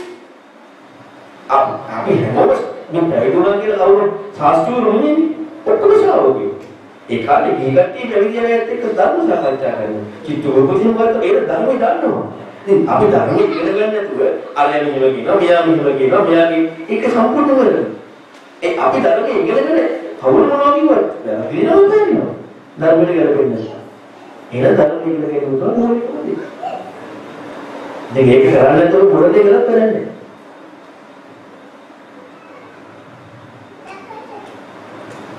එහෙනම් අවසන් කරමු. හොඳයි එහෙනම් අද මේ ඉවත් ඉස්ස බුදුරජාණන් වහන්සේ වදාළ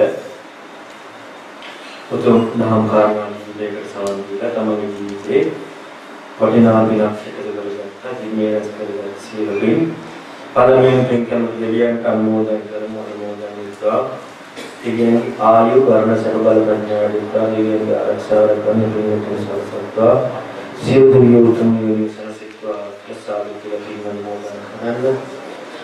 මේ පාරලෝ යන දෙවියන් සියලු මලකීන ආදී සහෝදර සහෝදරයන් දොසියු නාමයෙන් ප්‍රාපී පින්කම් මොදන් වෙත්වා. ඒ ඥාතීන් විපරලෝ ජීවිත සුඛී සුවපත්භාවයට පත්වෙත්වා ප්‍රසාද කියලා කරන්න. ඒ වගේම සුජීවත්ව සිටින ආදරණීය දෙමාපියන් වන යෝගී කරුණාවදී සහ කියා ධර්මරත්නයන් දෙමාපියන්ට ඒවත් ධර්ම අවබෝධ කර ගැනීම පිණිස මේ ධර්ම දේශනාවට සමත්සවන් දුන්න ඔබ සෑම සියලු දෙනාටම ධර්ම අවබෝධ කර ගැනීම පිණිස මේ සියලු කුමිලකම අනුපකාරයක් වෙත්වා. ඒ වගේම මේ ගෞතම ශාසනීය උතුම් ආර්ය සත්‍යයෙන් අවබෝධ කරගන්න නිවි සැනසෙන්න මේ සියලු දේ උපකාරයක් වෙත්වා. මේ සාදු කියලා කියනවා